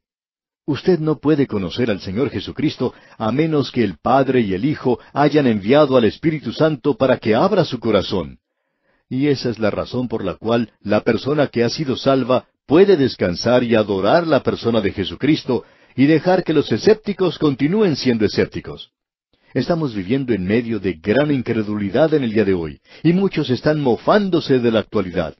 Pero amigo oyente, nuestra relación es una relación personal con el Señor Jesucristo, y Él fue el que era el Verbo, y Él era el Verbo era con Dios, y el Verbo era Dios. ¡Qué declaración más tremenda la que tenemos aquí! La sabiduría entonces es el Señor Jesucristo. Y leamos ahora los versículos 24 al 27 de este capítulo 8 de Proverbios, y dicen, Antes de los abismos fui engendrada, antes que fuesen las fuentes de las muchas aguas, antes que los montes fuesen formados, antes de los collados, ya había sido yo engendrada. No había aún hecho la tierra, ni los campos, ni el principio del polvo del mundo. Cuando formaba los cielos, allí estaba yo, cuando trazaba el círculo sobre la faz del abismo. En realidad, todas las cosas por Él fueron hechas, y sin Él nada de lo que ha sido hecho fue hecho, cuando trazaba el círculo sobre la faz del abismo. Hay quienes opinan que Dios es cuadrado, pero ya hemos dicho que Él es un triángulo, Él es una trinidad, pero este universo, su universo, no es cuadrado, sino que es un círculo. Los hombres no sabían eso al comienzo. En realidad, los científicos pensaban y hablaban que el universo era cuadrado, pero Dios siempre ha dicho que era un círculo. Y ese es el cuadro que tenemos en el día de hoy. Usted y yo vivimos en un mundo que es redondo y estamos girando alrededor de nuestro sistema planetario. Pertenecemos a un sistema de la galaxia y es un círculo. Y entonces todos estos círculos están girando alrededor. También debemos decirle, amigo oyente, que también nosotros vamos girando y girando en el día de hoy.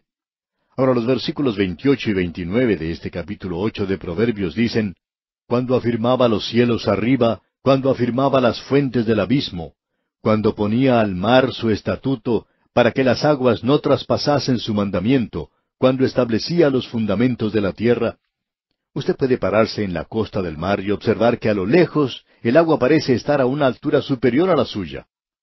Ahora, ¿por qué no se vuelca toda esa agua sobre usted? ¿Por qué?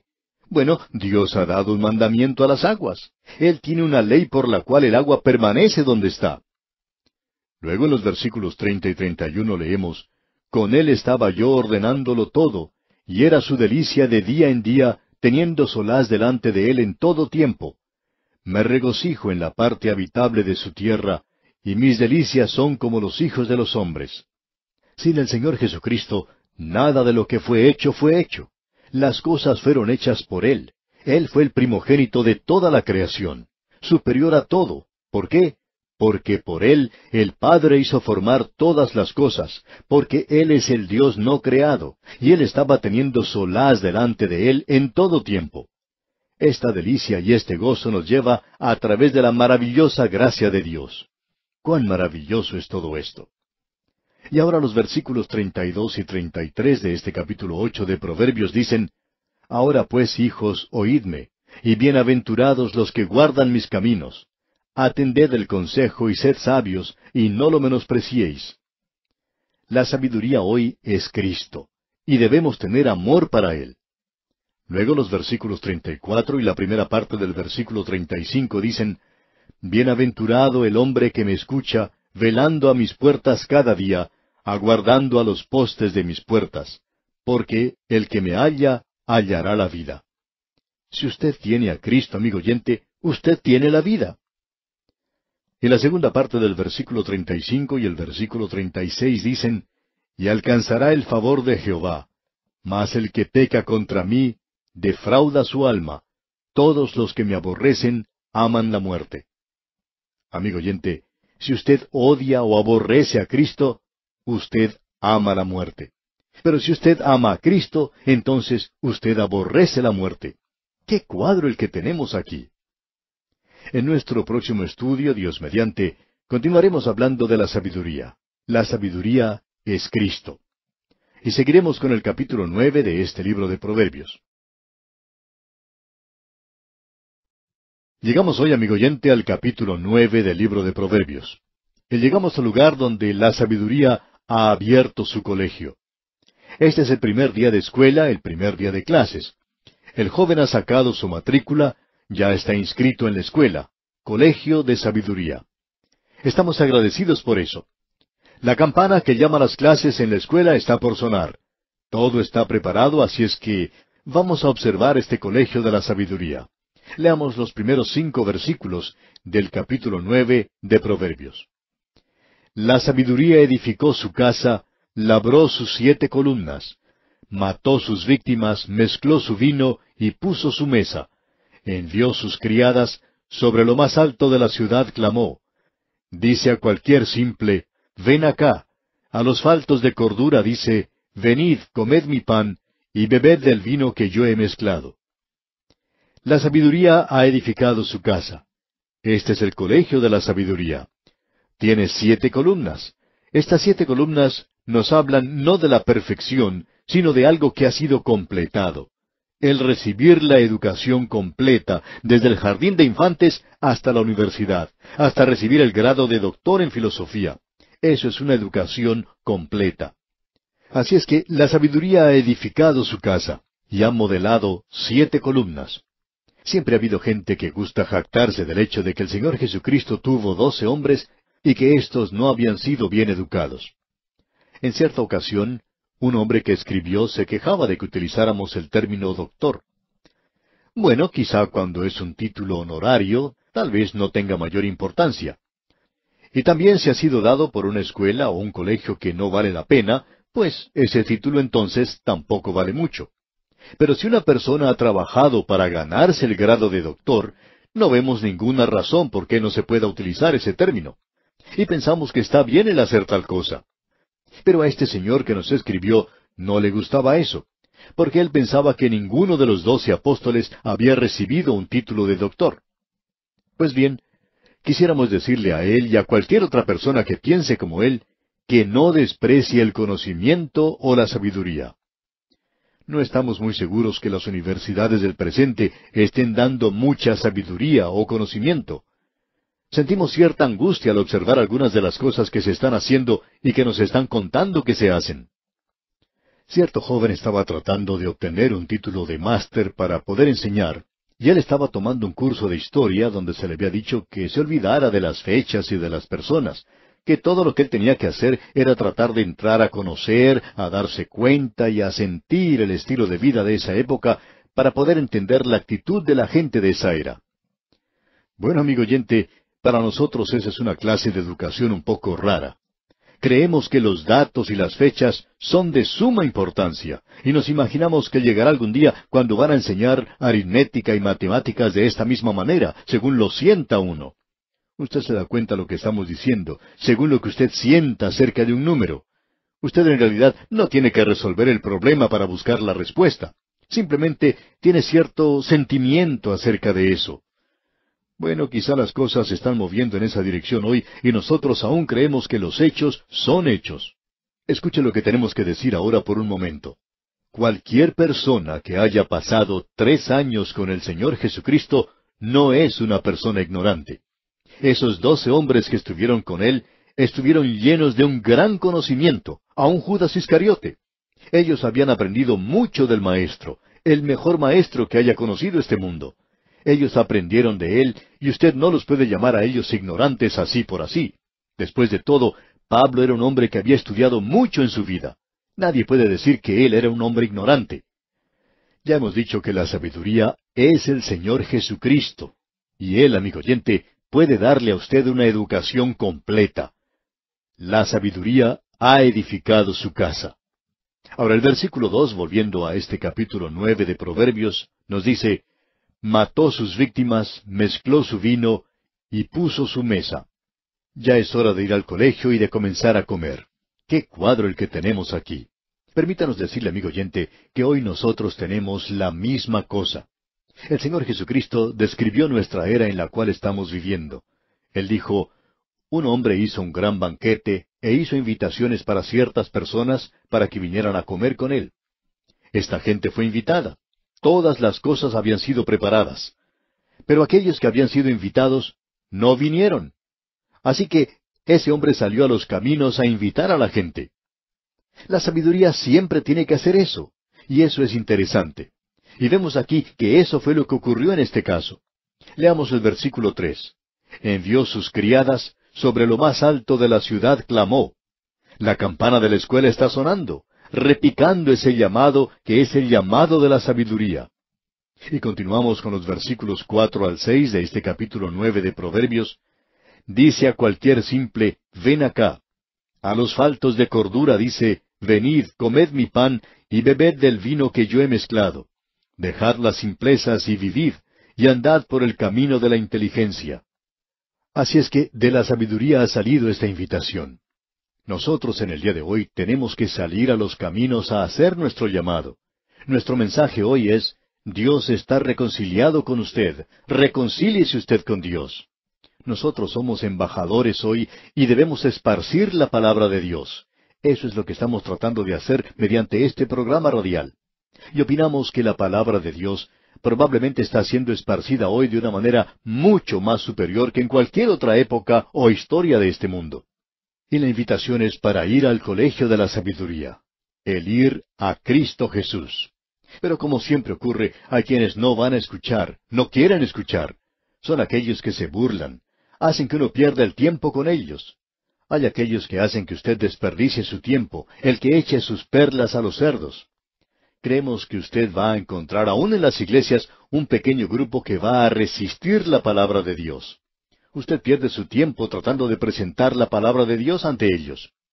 Ahora alguien quizá diga, ah, pero nosotros debemos seguir haciendo esto. No, amigo oyente.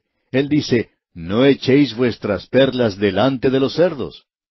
Y escuche lo que dice en este capítulo nueve de Proverbios.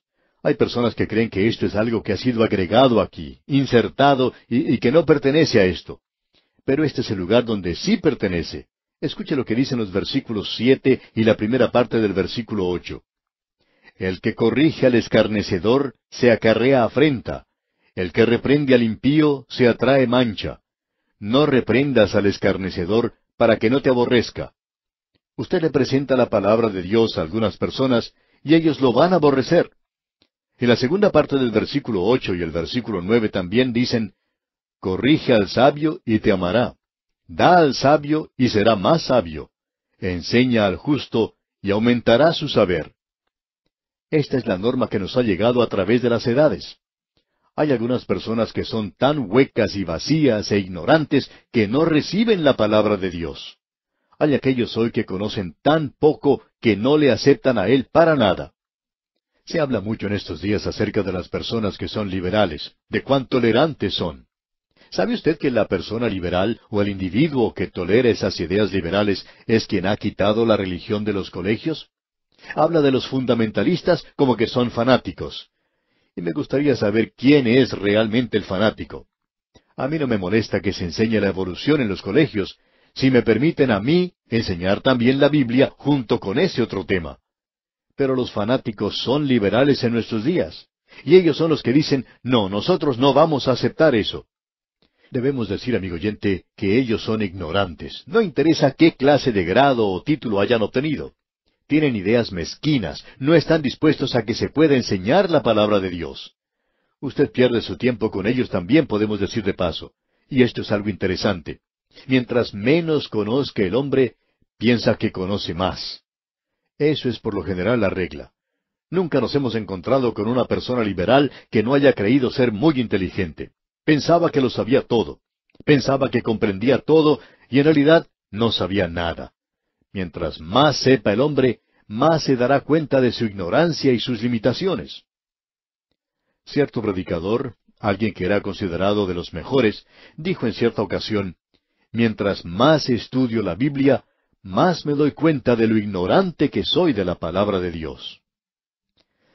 Bueno, volviendo a este capítulo nueve de Proverbios, notemos lo que dice ahora en el versículo diez.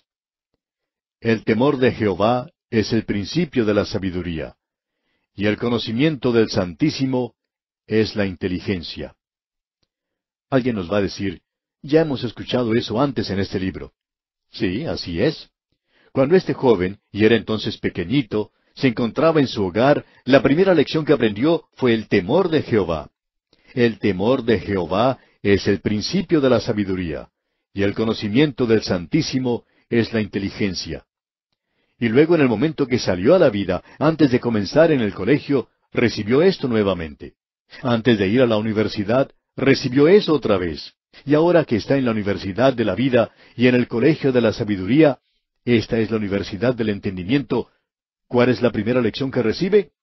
El temor de Jehová es el principio de la sabiduría. Allí es donde uno debe comenzar. Y si usted no ha comenzado allí, amigo oyente, entonces no ha comenzado. El hombre es un insensato, y eso es lo que dice este libro aquí. El hombre es un insensato si quiere vivir sin Dios en este mundo. Usted se preocupa hoy acerca de la protección y la seguridad. La seguridad en el camino, la protección en el hogar, quiere tener algo asegurado para su ancianidad. Usted quiere estar seguro que todo está bien arreglado en su vida y por tanto tiene cuidado de conseguirse un seguro de vida, pagar la póliza y creemos que debería hacer eso. Creemos que es inteligente hacer eso. Pero amigo que nos escucha, ¿qué hace acerca de la eternidad? ¿Está usted planeando algo? ¿Tiene usted seguridad? ¿Un seguro para la eternidad? ¡Qué insensato es esto! ¡Qué insensato es vivir una vida sin Dios! El temor de Jehová es el comienzo de la sabiduría. Ahora en el versículo once de este capítulo nueve leemos, Porque por mí se aumentarán tus días, y años de vida se te añadirán. Y eso lo podemos aplicar a la eternidad, digamos de paso. Luego el versículo doce dice, Si fueres sabio, para ti lo serás, y si fueres escarnecedor, pagarás tú solo. Si usted quiere ser sabio, inteligente, entonces hará las preparaciones necesarias para su alma para la eternidad. Ahora, si usted va a ser un escarnecedor y va a ridiculizar todas estas cosas, entonces, amigo oyente, usted será juzgado. Quizás usted opine que no somos muy refinados al decir esto, pero alguien debería advertirlo, amigo oyente. Usted está en camino al infierno en el día de hoy. Allí es donde usted se está dirigiendo. Si nosotros dijéramos que al salir de su casa va a tener un accidente, entonces diría, tengo que hacer algo en cuanto a eso. Pero amigo oyente, ¿qué va a hacer usted acerca de la eternidad? ¿Y a dónde se está dirigiendo usted ahora? Esto es algo realmente tremendo. Si usted quiere continuar en su propio camino, entonces usted va a ser el perdedor en todo esto. Un hombre dijo en una ocasión, ¿sabe una cosa? A mí no me convence todo este asunto de la vida eterna y lo relacionado con eso, eso de confiar en Jesucristo. Eso está bien quizá para algunas personas, pero a mí no me interesa esa clase de cosas. Bueno, debemos decir lo siguiente. Quizá usted tenga razón. Supongamos que tiene razón. Entonces, usted y yo estamos en la misma situación. Vamos a ir a parar al mismo lugar si es que tiene razón. Pero supongamos que nosotros tenemos razón y que usted está equivocado. Amigo oyente, usted va a encontrarse en una posición muy mala. Como cierto ateo dijo en una ocasión, yo quedaría satisfecho si no fuera por lo funesto que sería si la Biblia es verdad. Sí, podría ser así. Y si lo es, entonces puede ser algo tremendo para usted cuando usted le dé la espalda a Cristo. Bueno, continuando nuestra lectura aquí en este capítulo nueve de Proverbios, se nos dice algo en cuanto a la mujer insensata. Leamos el versículo trece.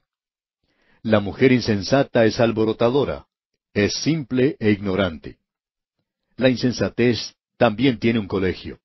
Y parece que hay muchos de estos colegios a nuestro alrededor hoy.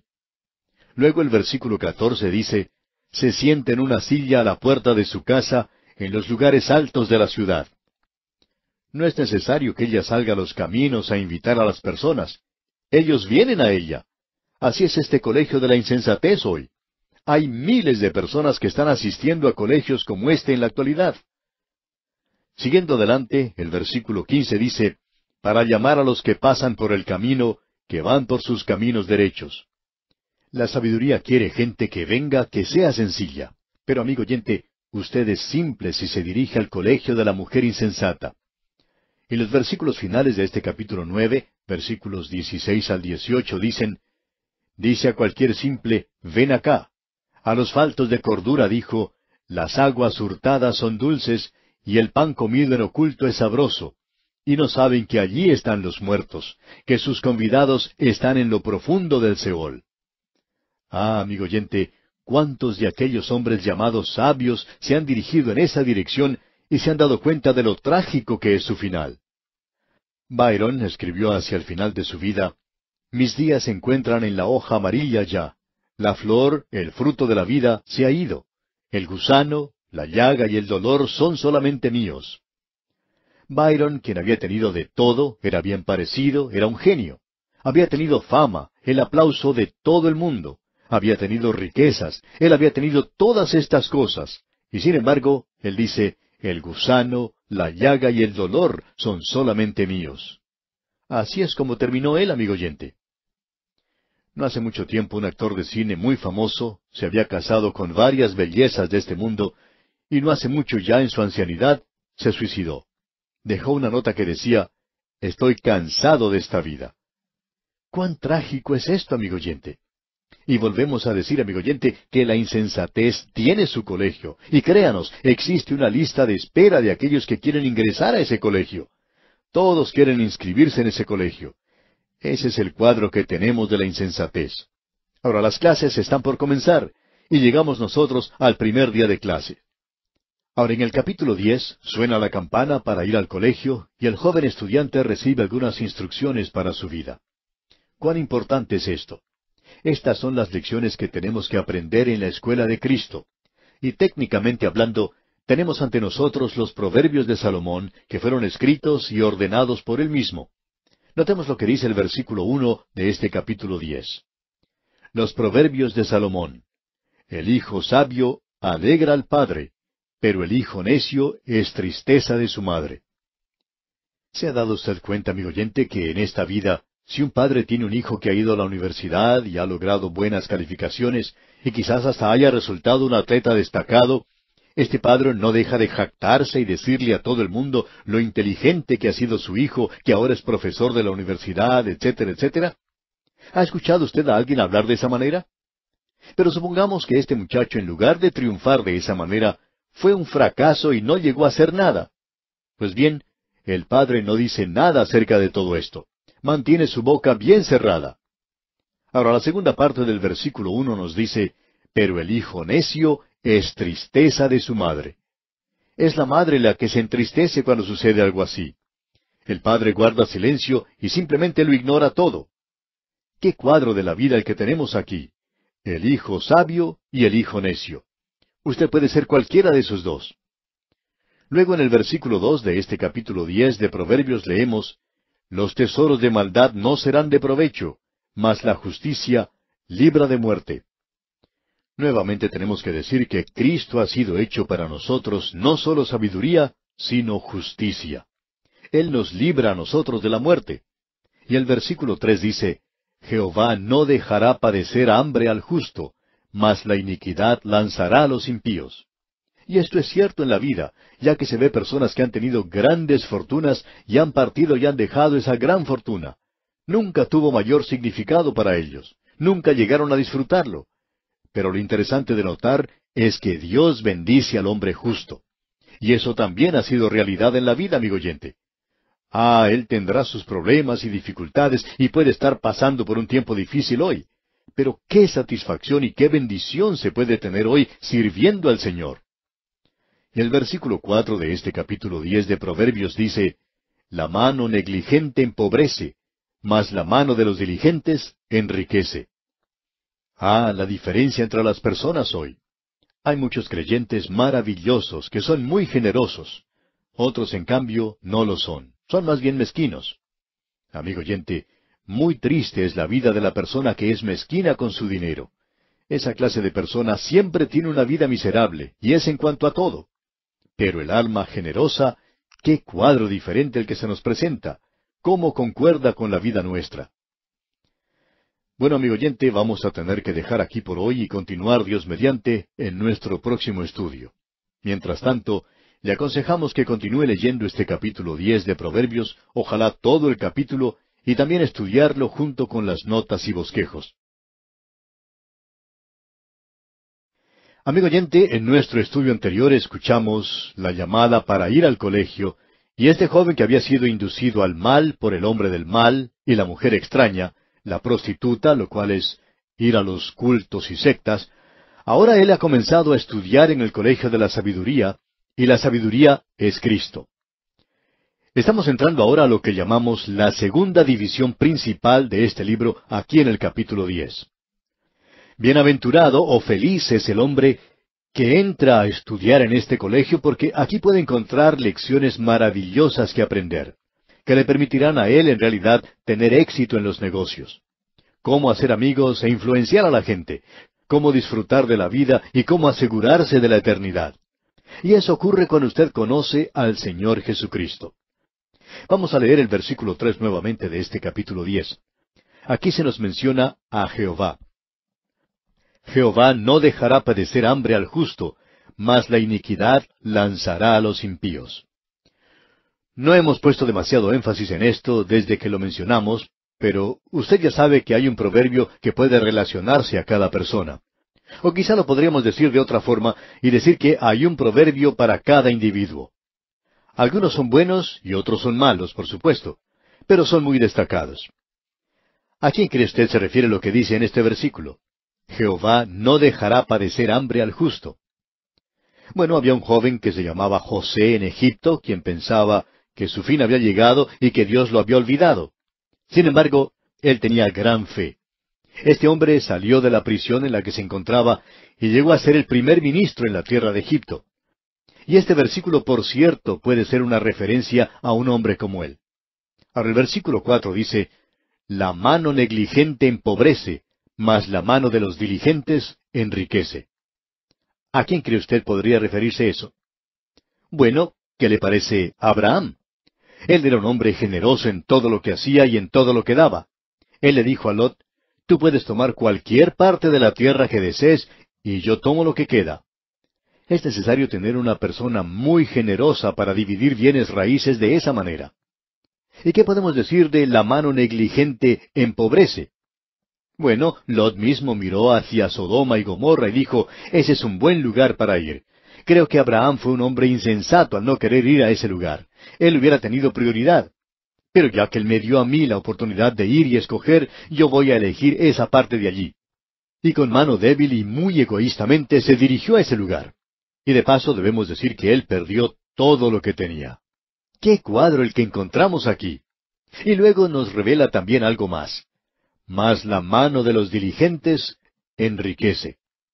Hay dos palabras que no se pueden unir en la Biblia. La fe y la pereza no se mezclan. Un creyente perezoso no es un creyente con una verdadera fe en Dios. Alguien que es diligente es aquel que va a trabajar, aquel que va a laborar. Cuando el Señor llamó al apóstol Pablo, él no se consiguió una persona perezosa, digamos de paso. Ahora, en el versículo cinco de este capítulo diez de Proverbios leemos El que recoge en el verano es hombre entendido. El que duerme en el tiempo de la siega es hijo que avergüenza. Aquí tenemos un contraste nuevamente entre el joven que es diligente y aquí se le llama entendido porque él trabaja en el verano. Aquel que duerme durante la época de la cosecha o el perezoso es la persona que no va a llegar a realizar el trabajo. Permítanos decirle, amigo oyente, y amigo creyente en particular, que usted necesita reconocer que Dios quiere instruirnos y enseñarnos hoy. Es bueno saber aprovechar el tiempo cuando uno es joven. Cierto pastor que tenía una iglesia en un lugar donde había poca actividad, la localidad era pequeña, se dedicó a aprovechar ese tiempo para estudiar la Biblia. Para redimir el tiempo porque los días son malos. Él se aprovechó de ese período y le da gracias a Dios por eso, porque más adelante él tuvo que trabajar en una iglesia muy grande y estar ocupado en muchas otras cosas.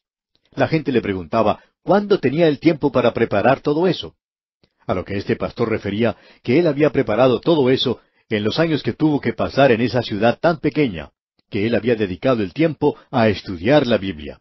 Así es que, amigo oyente, a estudiar la Biblia. Le aconsejamos a cualquier joven que nos escuche ahora, si usted quiere ser utilizado por Dios más adelante, donde quiera que esté hoy, comience a prepararse. Recuerde lo que dice la primera parte del versículo cinco. El que recoge en el verano es hombre entendido.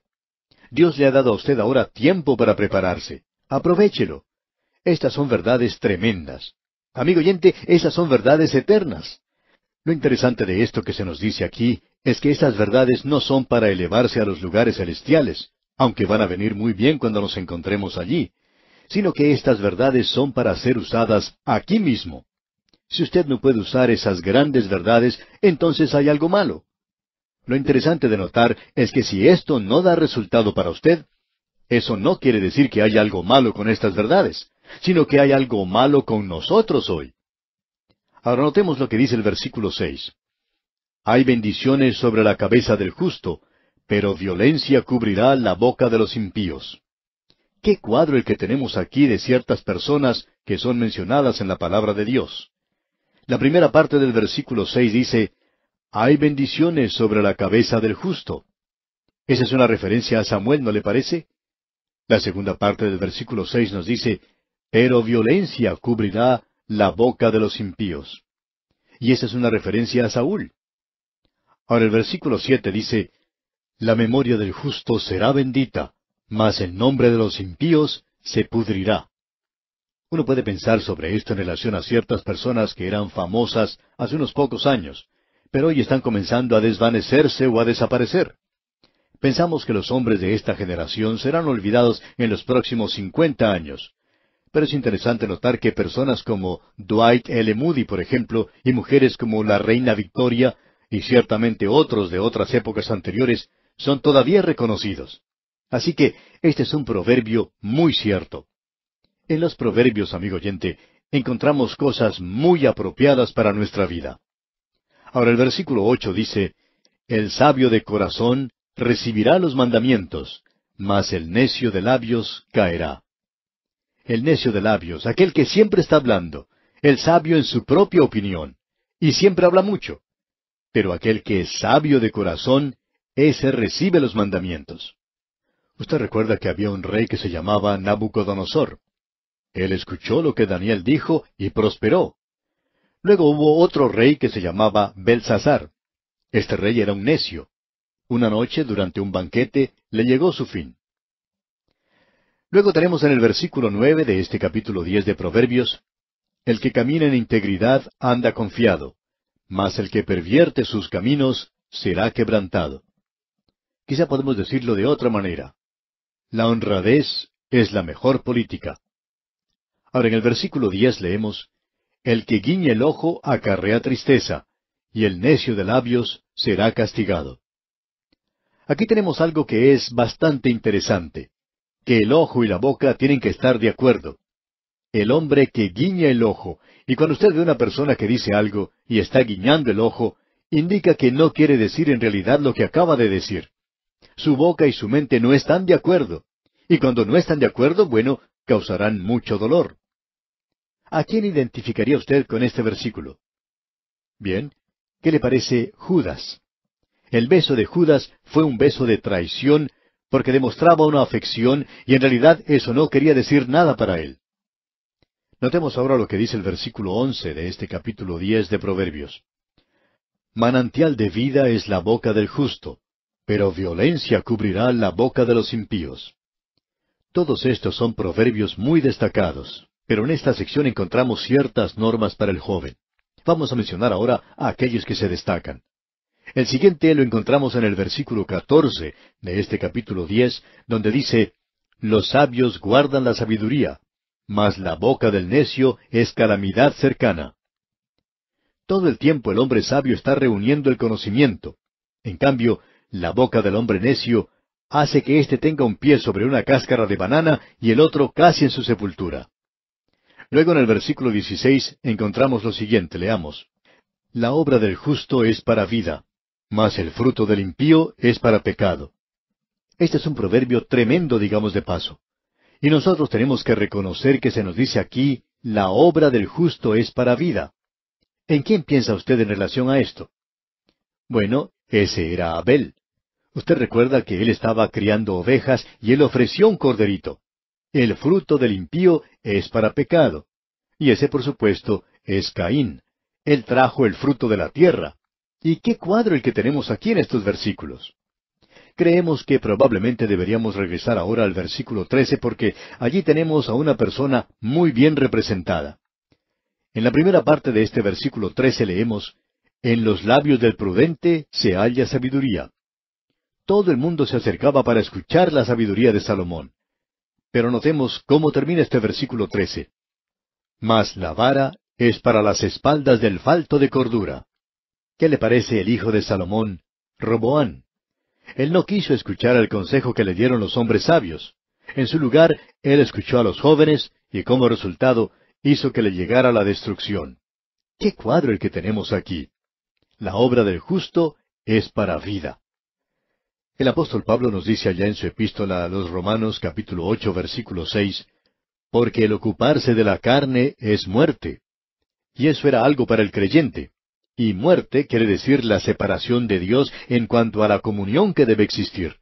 Dios no va a tener comunión con una persona carnal. Y Pablo continúa, pero el ocuparse del Espíritu es vida y paz. El proverbio que tenemos ante nosotros nos dice, la obra del justo es para vida, es comunión con Dios, la salvación para Abel, mas el fruto del impío es para pecado. Y eso es para el hombre con mente carnal. Por cierto que tenemos un cuadro de Caín sin ninguna duda. Ahora en el versículo 17 de este capítulo 10 de Proverbios leemos, Camino a la vida es guardar la instrucción, pero quien desecha la reprensión, yerra. Esto se puede aplicar al hijo de David, a Absalón. Él no quiso escuchar, y él cometió la gran equivocación de enfrentarse a su propio padre, quien era un experto en la guerra. Él tenía mucha experiencia. Luego en el versículo 18 encontramos lo siguiente. El que encubre el odio es de labios mentirosos, y el que propaga calumnia es necio. Aquí son mencionadas dos cosas. El que encubre el odio es de labios mentirosos. Qué terrible es tener a alguien que pretenda ser su amigo y luego usted descubre que se ha hecho enemigo. Esa persona es en realidad necia. Usted se da cuenta de esto después de algún tiempo. Ahora, en la segunda parte del versículo 18 leemos, y el que propaga calumnia es necio. Como podemos ver, se lo presenta aquí como una persona que es necia. Dios le dio una ley a su pueblo que la podemos leer en los versículos 16 y 17 del capítulo 19 de Levítico. Allí se nos dice, No andarás chismeando entre tu pueblo, no atentarás contra la vida de tu prójimo, yo Jehová. No aborrecerás a tu hermano en tu corazón, razonarás con tu prójimo para que no participes de su pecado. No se ponga a halagar a un hombre cuando en realidad usted lo aborrece. Tampoco tiene que calumniar a ese hombre. Eso lo encontramos en la Escritura. ¿Recuerda usted que Joab pretendía ser amigo de Abner y que él lo engañó a que saliera fuera de la ciudad y luego lo mató? Él murió como muere un necio. Usted recuerda, eso fue lo que dijo David, que había muerto como un necio. Bueno, el proverbio que encontramos en el capítulo diez, versículo dieciocho nos dice, El que encubre el odio es de labios mentirosos, y el que propaga calumnia es necio. Luego, siguiendo más adelante en el versículo diecinueve, podemos leer, En las muchas palabras no falta pecado, mas el que refrena sus labios es prudente. ¿Se ha dado usted cuenta, amigo oyente, alguna vez de los decretos que son presentados por los gobiernos? Alguien cuenta que tiene una copia de un decreto de estos que se refiere al repollo, y dice que es una ordenanza que tiene que ver nada más que con el repollo. Y cree que es una edición pequeña en la que utilizan unas veinticinco mil palabras hablando solo acerca del repollo. Ahora, ¿cuántas palabras existen en el Padre Nuestro? No hay muchas. ¿Y cuántas encontramos en el Salmo 23? En las muchas palabras no falta pecado, mas el que refrena sus labios es prudente. Luego el versículo veinte de este capítulo diez de Proverbios dice, Plata escogida es la lengua del justo, mas el corazón de los impíos es como nada. ¿Qué declaración más tremenda es esta? No podemos analizar muchas de ellas en este día. Ahora el versículo veintiuno, continuamos leyendo, Los labios del justo apacientan a muchos, mas los necios mueren por falta de entendimiento. Y nuevamente presentamos a Samuel y a Saúl ante nosotros como ejemplos de estos proverbios. Samuel era un gran juez, un hombre de Israel.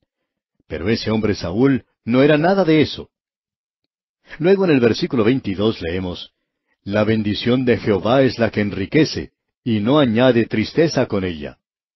Y eso es algo que nosotros necesitamos recordar hoy. Aquellos que viven en el placer, que piensan que están disfrutando todo, pero cuando se aproximan al fin de su vida, entonces la vida llega a ser algo insoportable.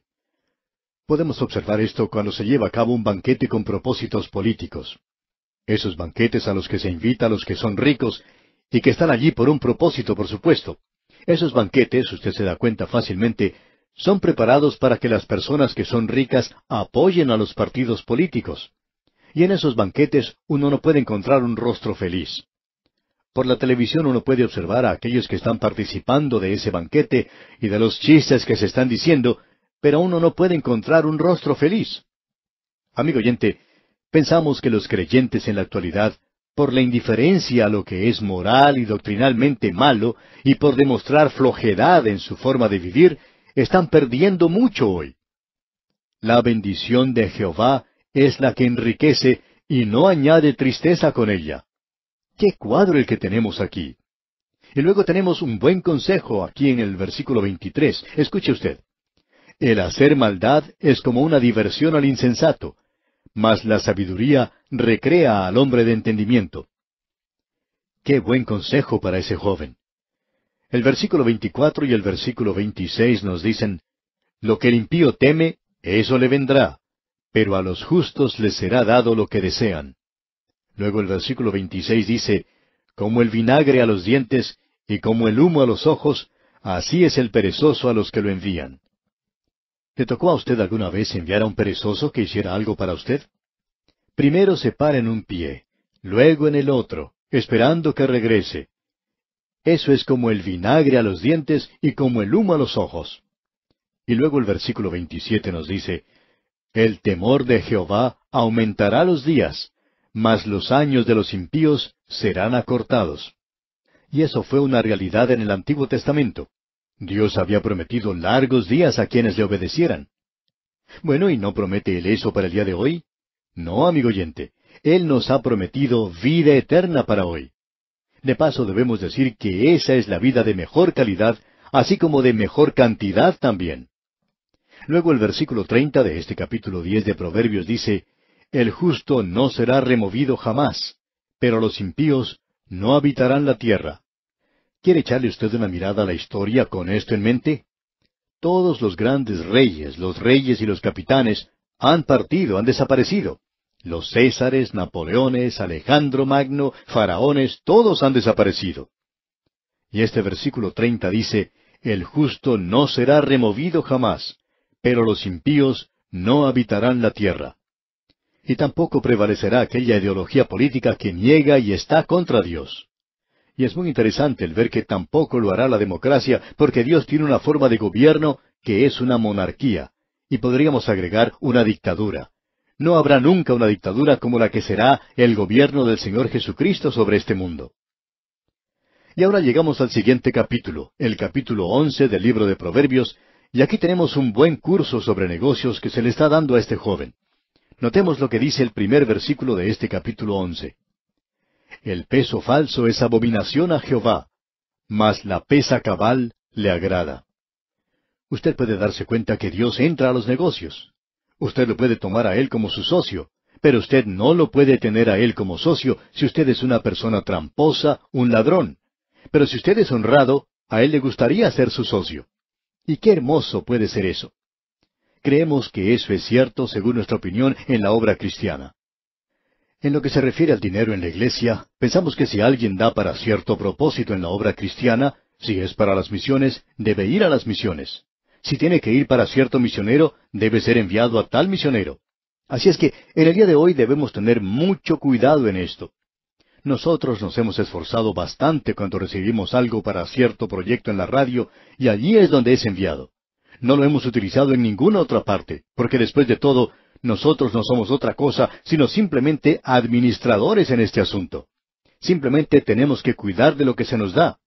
Dios va a bendecir, amigo oyente, solamente si somos honrados en el día de hoy en nuestros negocios. Y las iglesias y organizaciones cristianas deberían por lo menos asistir a esta clase en el Colegio de la Sabiduría y entender que Dios requiere honradez en los asuntos de aquellos que son suyos. Y bien, amigo oyente, vamos a detenernos aquí por hoy. Dios mediante, continuaremos en nuestro próximo estudio.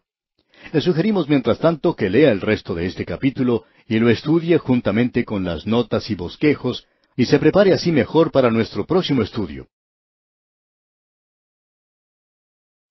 Regresamos hoy, amigo oyente, al capítulo once de este libro de Proverbios que apenas logramos comenzar en nuestro programa anterior. Y al hacerlo, notamos que el joven que había comenzado su vida, que fue dirigido por sus padres, que salió a la vida y luego se le dijo, con toda claridad por cierto, que el principio de la sabiduría es el temor de Jehová. Luego él recibió bastantes consejos de afuera para este período de la adolescencia. Ahora, al llegar aquí al capítulo once y la sabiduría que es Cristo, la escuela ha comenzado ya con sus clases, y la sabiduría ahora es el maestro. Vimos en nuestro programa anterior que la sabiduría había salido a los caminos a buscar a sus alumnos y los había conseguido. Ahora se encuentran en la clase y están aprendiendo por medio de los proverbios. Esos proverbios son generalmente proverbios que usted tiene, como vimos al comienzo de este estudio. Y hay varias clases de proverbios y que en su mayoría son enseñados por medio de paralelismo. Esa es la manera por la cual se obtiene la poesía hebrea. Un asunto o tema es repetido o se repite el contraste. Y así es como tenemos paralelismo sinónimo y antitético. Podríamos decir un paralelismo opuesto. Y también el paralelismo sintético, donde la segunda cláusula desarrolla el pensamiento de la primera. Y usted encuentra todo eso a través de esta sección ante nosotros. Y una vez más, deseamos dirigir su atención a esto. Y el libro de Proverbios, como hemos dicho, está formado por frases cortas que son producto de una larga experiencia. Ahora el joven está recibiendo un curso sobre buenos negocios. Se le ha dicho al comienzo de este capítulo once, en el primer versículo, El peso falso es abominación a Jehová, mas la pesa cabal le agrada. O sea que tiene que ser honrado. Él tiene que ser honrado en sus negocios. Tiene que ser un hombre de integridad, de entereza. Y es hermoso encontrar hombres como este en nuestros días. Hemos tenido la oportunidad de conocer a hombres de negocios, creyentes, que actúan de esa manera. Y la fama de estas personas se extiende de un punto al otro de la nación en que viven. Por lo general llegan a ser hombres de negocios con mucho éxito. Y es hermoso, decíamos, encontrar hombres así, especialmente en el mundo en que vivimos en el día de hoy. Luego, otro de los vicios actuales y dominantes es el pecado del orgullo. Inmediatamente se le dice entonces a este joven en el versículo dos, Cuando viene la soberbia, viene también la deshonra, mas con los humildes está la sabiduría. Nuevamente por medio del contraste, como podemos ver, representa aquello que es orgullo y aquello que es humildad. Siempre con el orgullo viene la deshonra. Habrá mucho de eso en la Escritura, y mucho también será mencionado en el libro de Proverbios. Ahora en el versículo 13 nos dice lo siguiente, La integridad de los rectos los encaminará, pero destruirá a los pecadores la perversidad de ellos. Esto es algo realmente hermoso, y simplemente quiere decir que si una persona quiere andar en la verdad, y ese es el deseo de su corazón, usted puede confiar en que el Espíritu de Dios le ayudará dándole guía y la dirección que necesita. En cierta ocasión un joven fue a hablar con su pastor porque quería saber cómo uno puede decir cuál es la voluntad de Dios, en qué dirección uno debe dirigirse. El pastor le dijo que en lo que se refiere al colegio o a los estudios, hay muchos que tienen los mismos problemas. Y lo más sencillo es entrar por la vía que está abierta. Si la puerta o la dirección a la cual uno quiere dirigirse está abierta, uno puede pasar y avanzar. Si está cerrada, bueno, así es la cosa. Y si uno no tiene el dinero para ir al colegio, pues no lo tiene, pero el Señor siempre abre una puerta para que uno pueda pasar. Esto sucede una y otra vez, y uno lo puede interpretar de esa manera. Por último, el pastor le dijo a este joven, yo creo que si uno quiere hacer las cosas como Dios quiere que uno las haga, Dios abrirá la puerta. Por lo menos esta ha sido mi propia experiencia y puedo testificar que así es. Y así es, amigo oyente. Ahora en el versículo cuatro de este capítulo once de Proverbios se nos dice, No aprovecharán las riquezas en el día de la ira, mas la justicia librará de muerte. ¿No le recuerda esto, amigo oyente, de la enseñanza que presentó el Señor Jesucristo acerca del hombre rico y el hombre pobre llamado Lázaro? Y cuando ambos murieron, bueno, las riquezas que ese hombre rico tenía no le sirvieron para nada en el día de la ira. Sin embargo, la justicia libró al pordiosero y lo llevó directamente al seno de Abraham.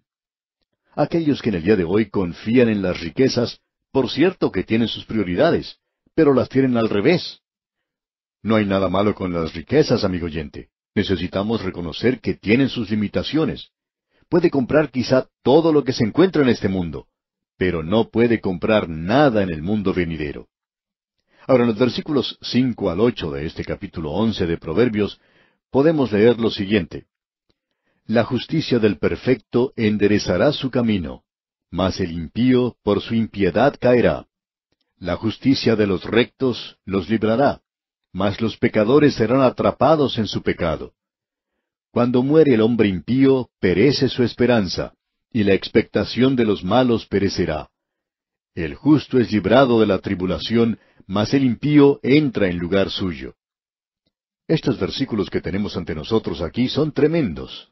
En realidad, aquí continuamos nosotros destacando algo que mencionamos al comienzo, en cuanto a que existe un proverbio para cada personaje de la Biblia, y también hay proverbios para cada persona que usted y yo conocemos en el día de hoy.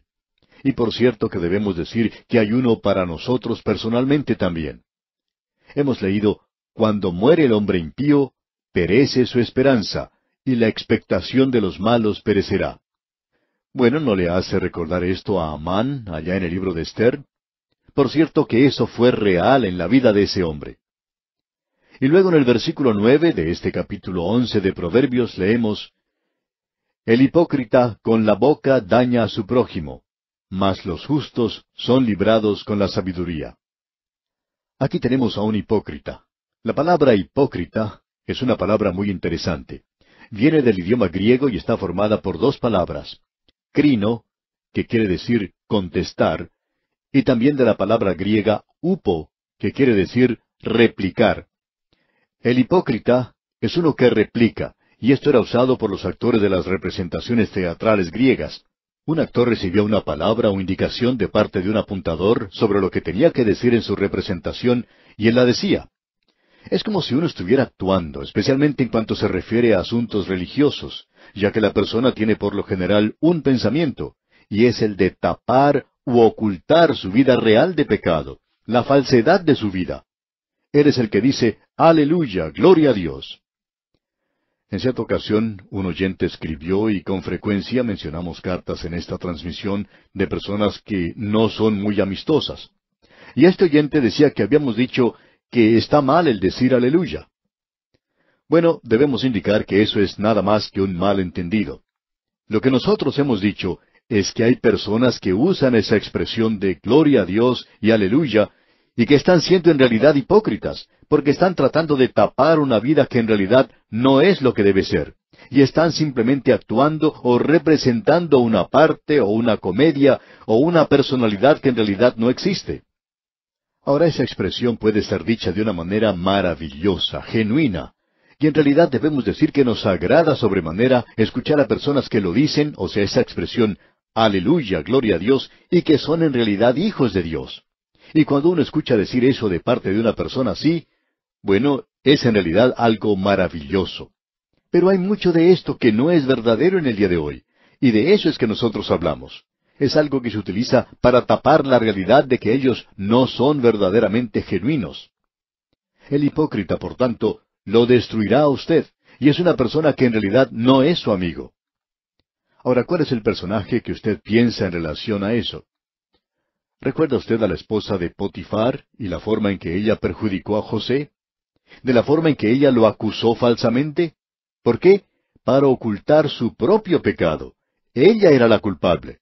Sí, por supuesto, ¿quién va a creer lo que dice un esclavo contra la palabra de la esposa de un oficial de Faraón? José en realidad no tenía necesidad de decir nada, ya que si lo hacía nadie le iba a creer. Desafortunadamente, amigo oyente, tenemos en estos días a hipócritas en la iglesia, que para protegerse a sí mismos dicen cosas terribles. Siempre hemos tenido temor del hombre o la mujer que dice cosas lindas delante del predicador, pero que lo critica en forma tajante a sus espaldas. Siempre hemos pensado que uno tiene que cuidarse de personas así esa persona está tratando de ocultar algo en su propia vida. El pasar del tiempo nos ha dado la razón en cuanto a esto. Y eso es lo que se nos dice aquí en este proverbio. Ahora el versículo diez de este capítulo once de Proverbios dice, En el bien de los justos la ciudad se alegra, mas cuando los impíos perecen, hay fiesta. En este proverbio podemos poner a David y a Saúl, uno al lado del otro, porque cuando David fue rey, Jerusalén llegó a ser una gran ciudad. Pero cuando murió Saúl, no hubo mucho luto en la ciudad. Ahora el versículo 12 dice, El que carece de entendimiento menosprecia a su prójimo, mas el hombre prudente calla. Para mí, David es un ejemplo de muchos de estos proverbios. ¿Ha pensado usted alguna vez que David tuvo una vida con mucha influencia sobre la de Salomón, aun cuando su madre fue la mujer con la cual David cometió su pecado al comienzo? Esa fue la única mancha en la vida de David, ya que en otra forma su vida fue en realidad maravillosa. Usted recuerda que cuando David estaba saliendo de la ciudad, cuando se había rebelado contra él su hijo Absalón, y también Simei, quien era de la familia de Saúl, maldijo a David. Joab, capitán del ejército de David, quería justiciarlo en ese mismo lugar, y David le dijo que no lo hiciera. Él decía que estaba hablando de su propio corazón. Ese era el juicio de Dios sobre David, y que lo dejara tranquilo. Y David permaneció callado. Lo sorprendente es que hay muchas veces cuando uno descubre que hay gente que lo está maldiciendo a uno.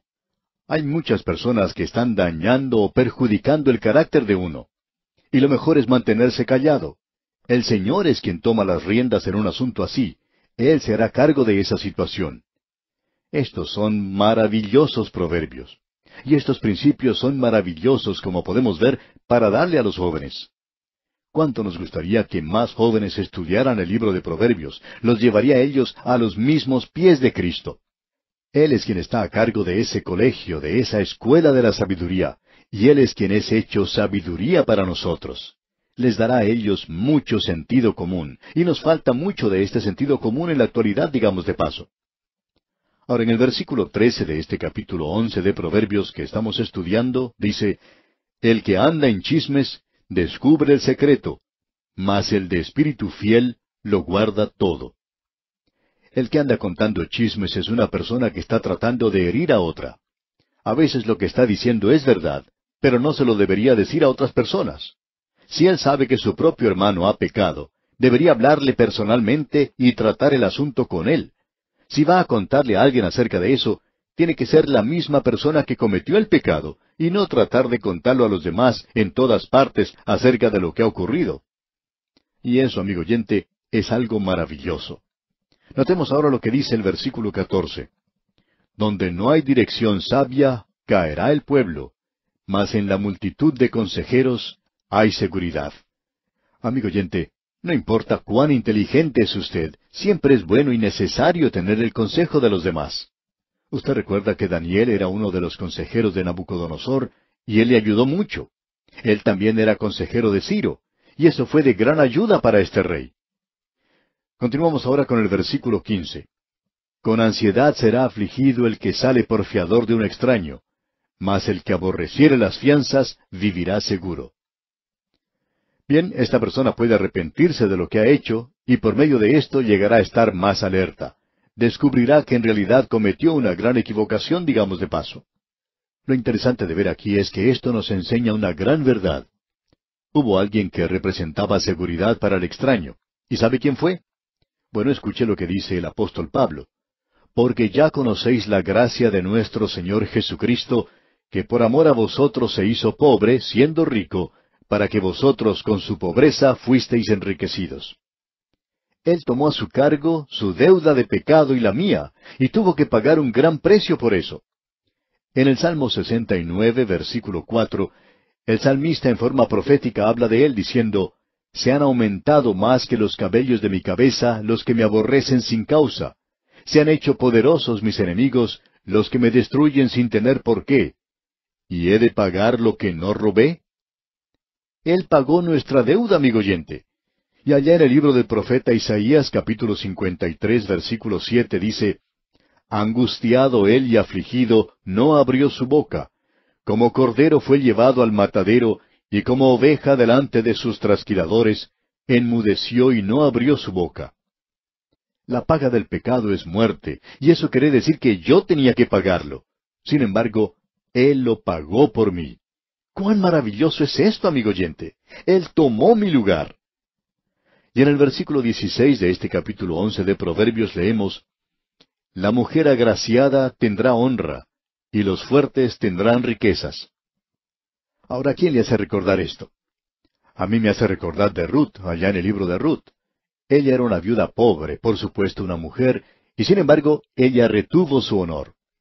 Y vos podía decir, toda la gente de mi pueblo, es decir, toda la ciudad de Belén, sabe que eres mujer virtuosa. Y eso no solo quiere indicar que ella no solo mantuvo su honor en una forma que la libró de cualquier forma de adulterio, sino en toda su manera de vivir. Y los fuertes tendrán riquezas.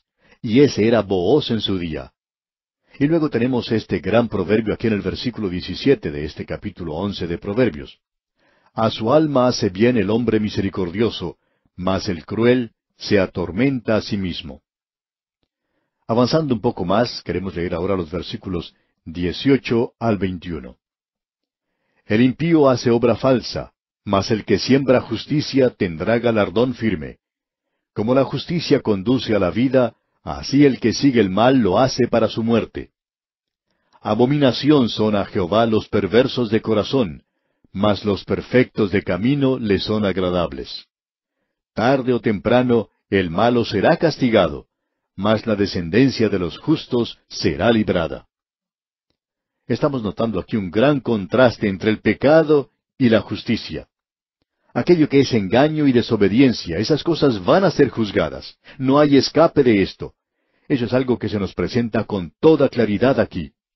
Y la justicia que tenemos es la justicia de Cristo. Si nosotros tenemos eso, entonces no seremos juzgados, sino que podemos pasar de muerte a vida. Luego aquí tenemos otro proverbio maravilloso. Lo encontramos aquí en el versículo 22 de este capítulo 11 de Proverbios. Escuche usted. Como zarcillo de oro en el hocico de un cerdo, es la mujer hermosa y apartada de razón. ¿Ha podido ver usted a un cerdo con un zarcillo de oro en el hocico? Pues bien, hay muchas personas así en Hollywood, amigo oyente, mujeres hermosas que no tienen prudencia ni discreción. Luego el versículo 23 nos dice, el deseo de los justos es solamente el bien, mas la esperanza de los impíos es el enojo. La única forma en que uno puede tener gozo y paz es el de tener una relación correcta con Cristo. En los versículos 24 y 25 dice, Hay quienes reparten y les es añadido más, y hay quienes retienen más de lo que es justo, pero vienen a pobreza. El alma generosa será prosperada, y el que saciare, él también será saciado. Aquí tenemos una paradoja. Bunyan lo dijo de la siguiente manera. Hubo un hombre de quien pensaban los demás que había perdido el juicio, mientras más votaba, más tenía. El que da sus bienes a los pobres tendrá mucho más, y diez veces más. Esto nos revela, amigo oyente, el hecho de lo que el Señor Jesucristo mismo dice, que si usted siembra escasamente, así es como segará. Y eso, opinamos nosotros, tiene que ver con el dar a la obra del Señor, digamos de paso. Y esto es todo por el día de hoy. Aquí tenemos a un hombre rico y usted se da cuenta que este joven que se encuentra en sus primeros años en la universidad es como muchos de nosotros en el presente. Por esa razón hemos dedicado algo de tiempo a esto aquí. En nuestro próximo estudio, Dios mediante, vamos a continuar con el versículo 26.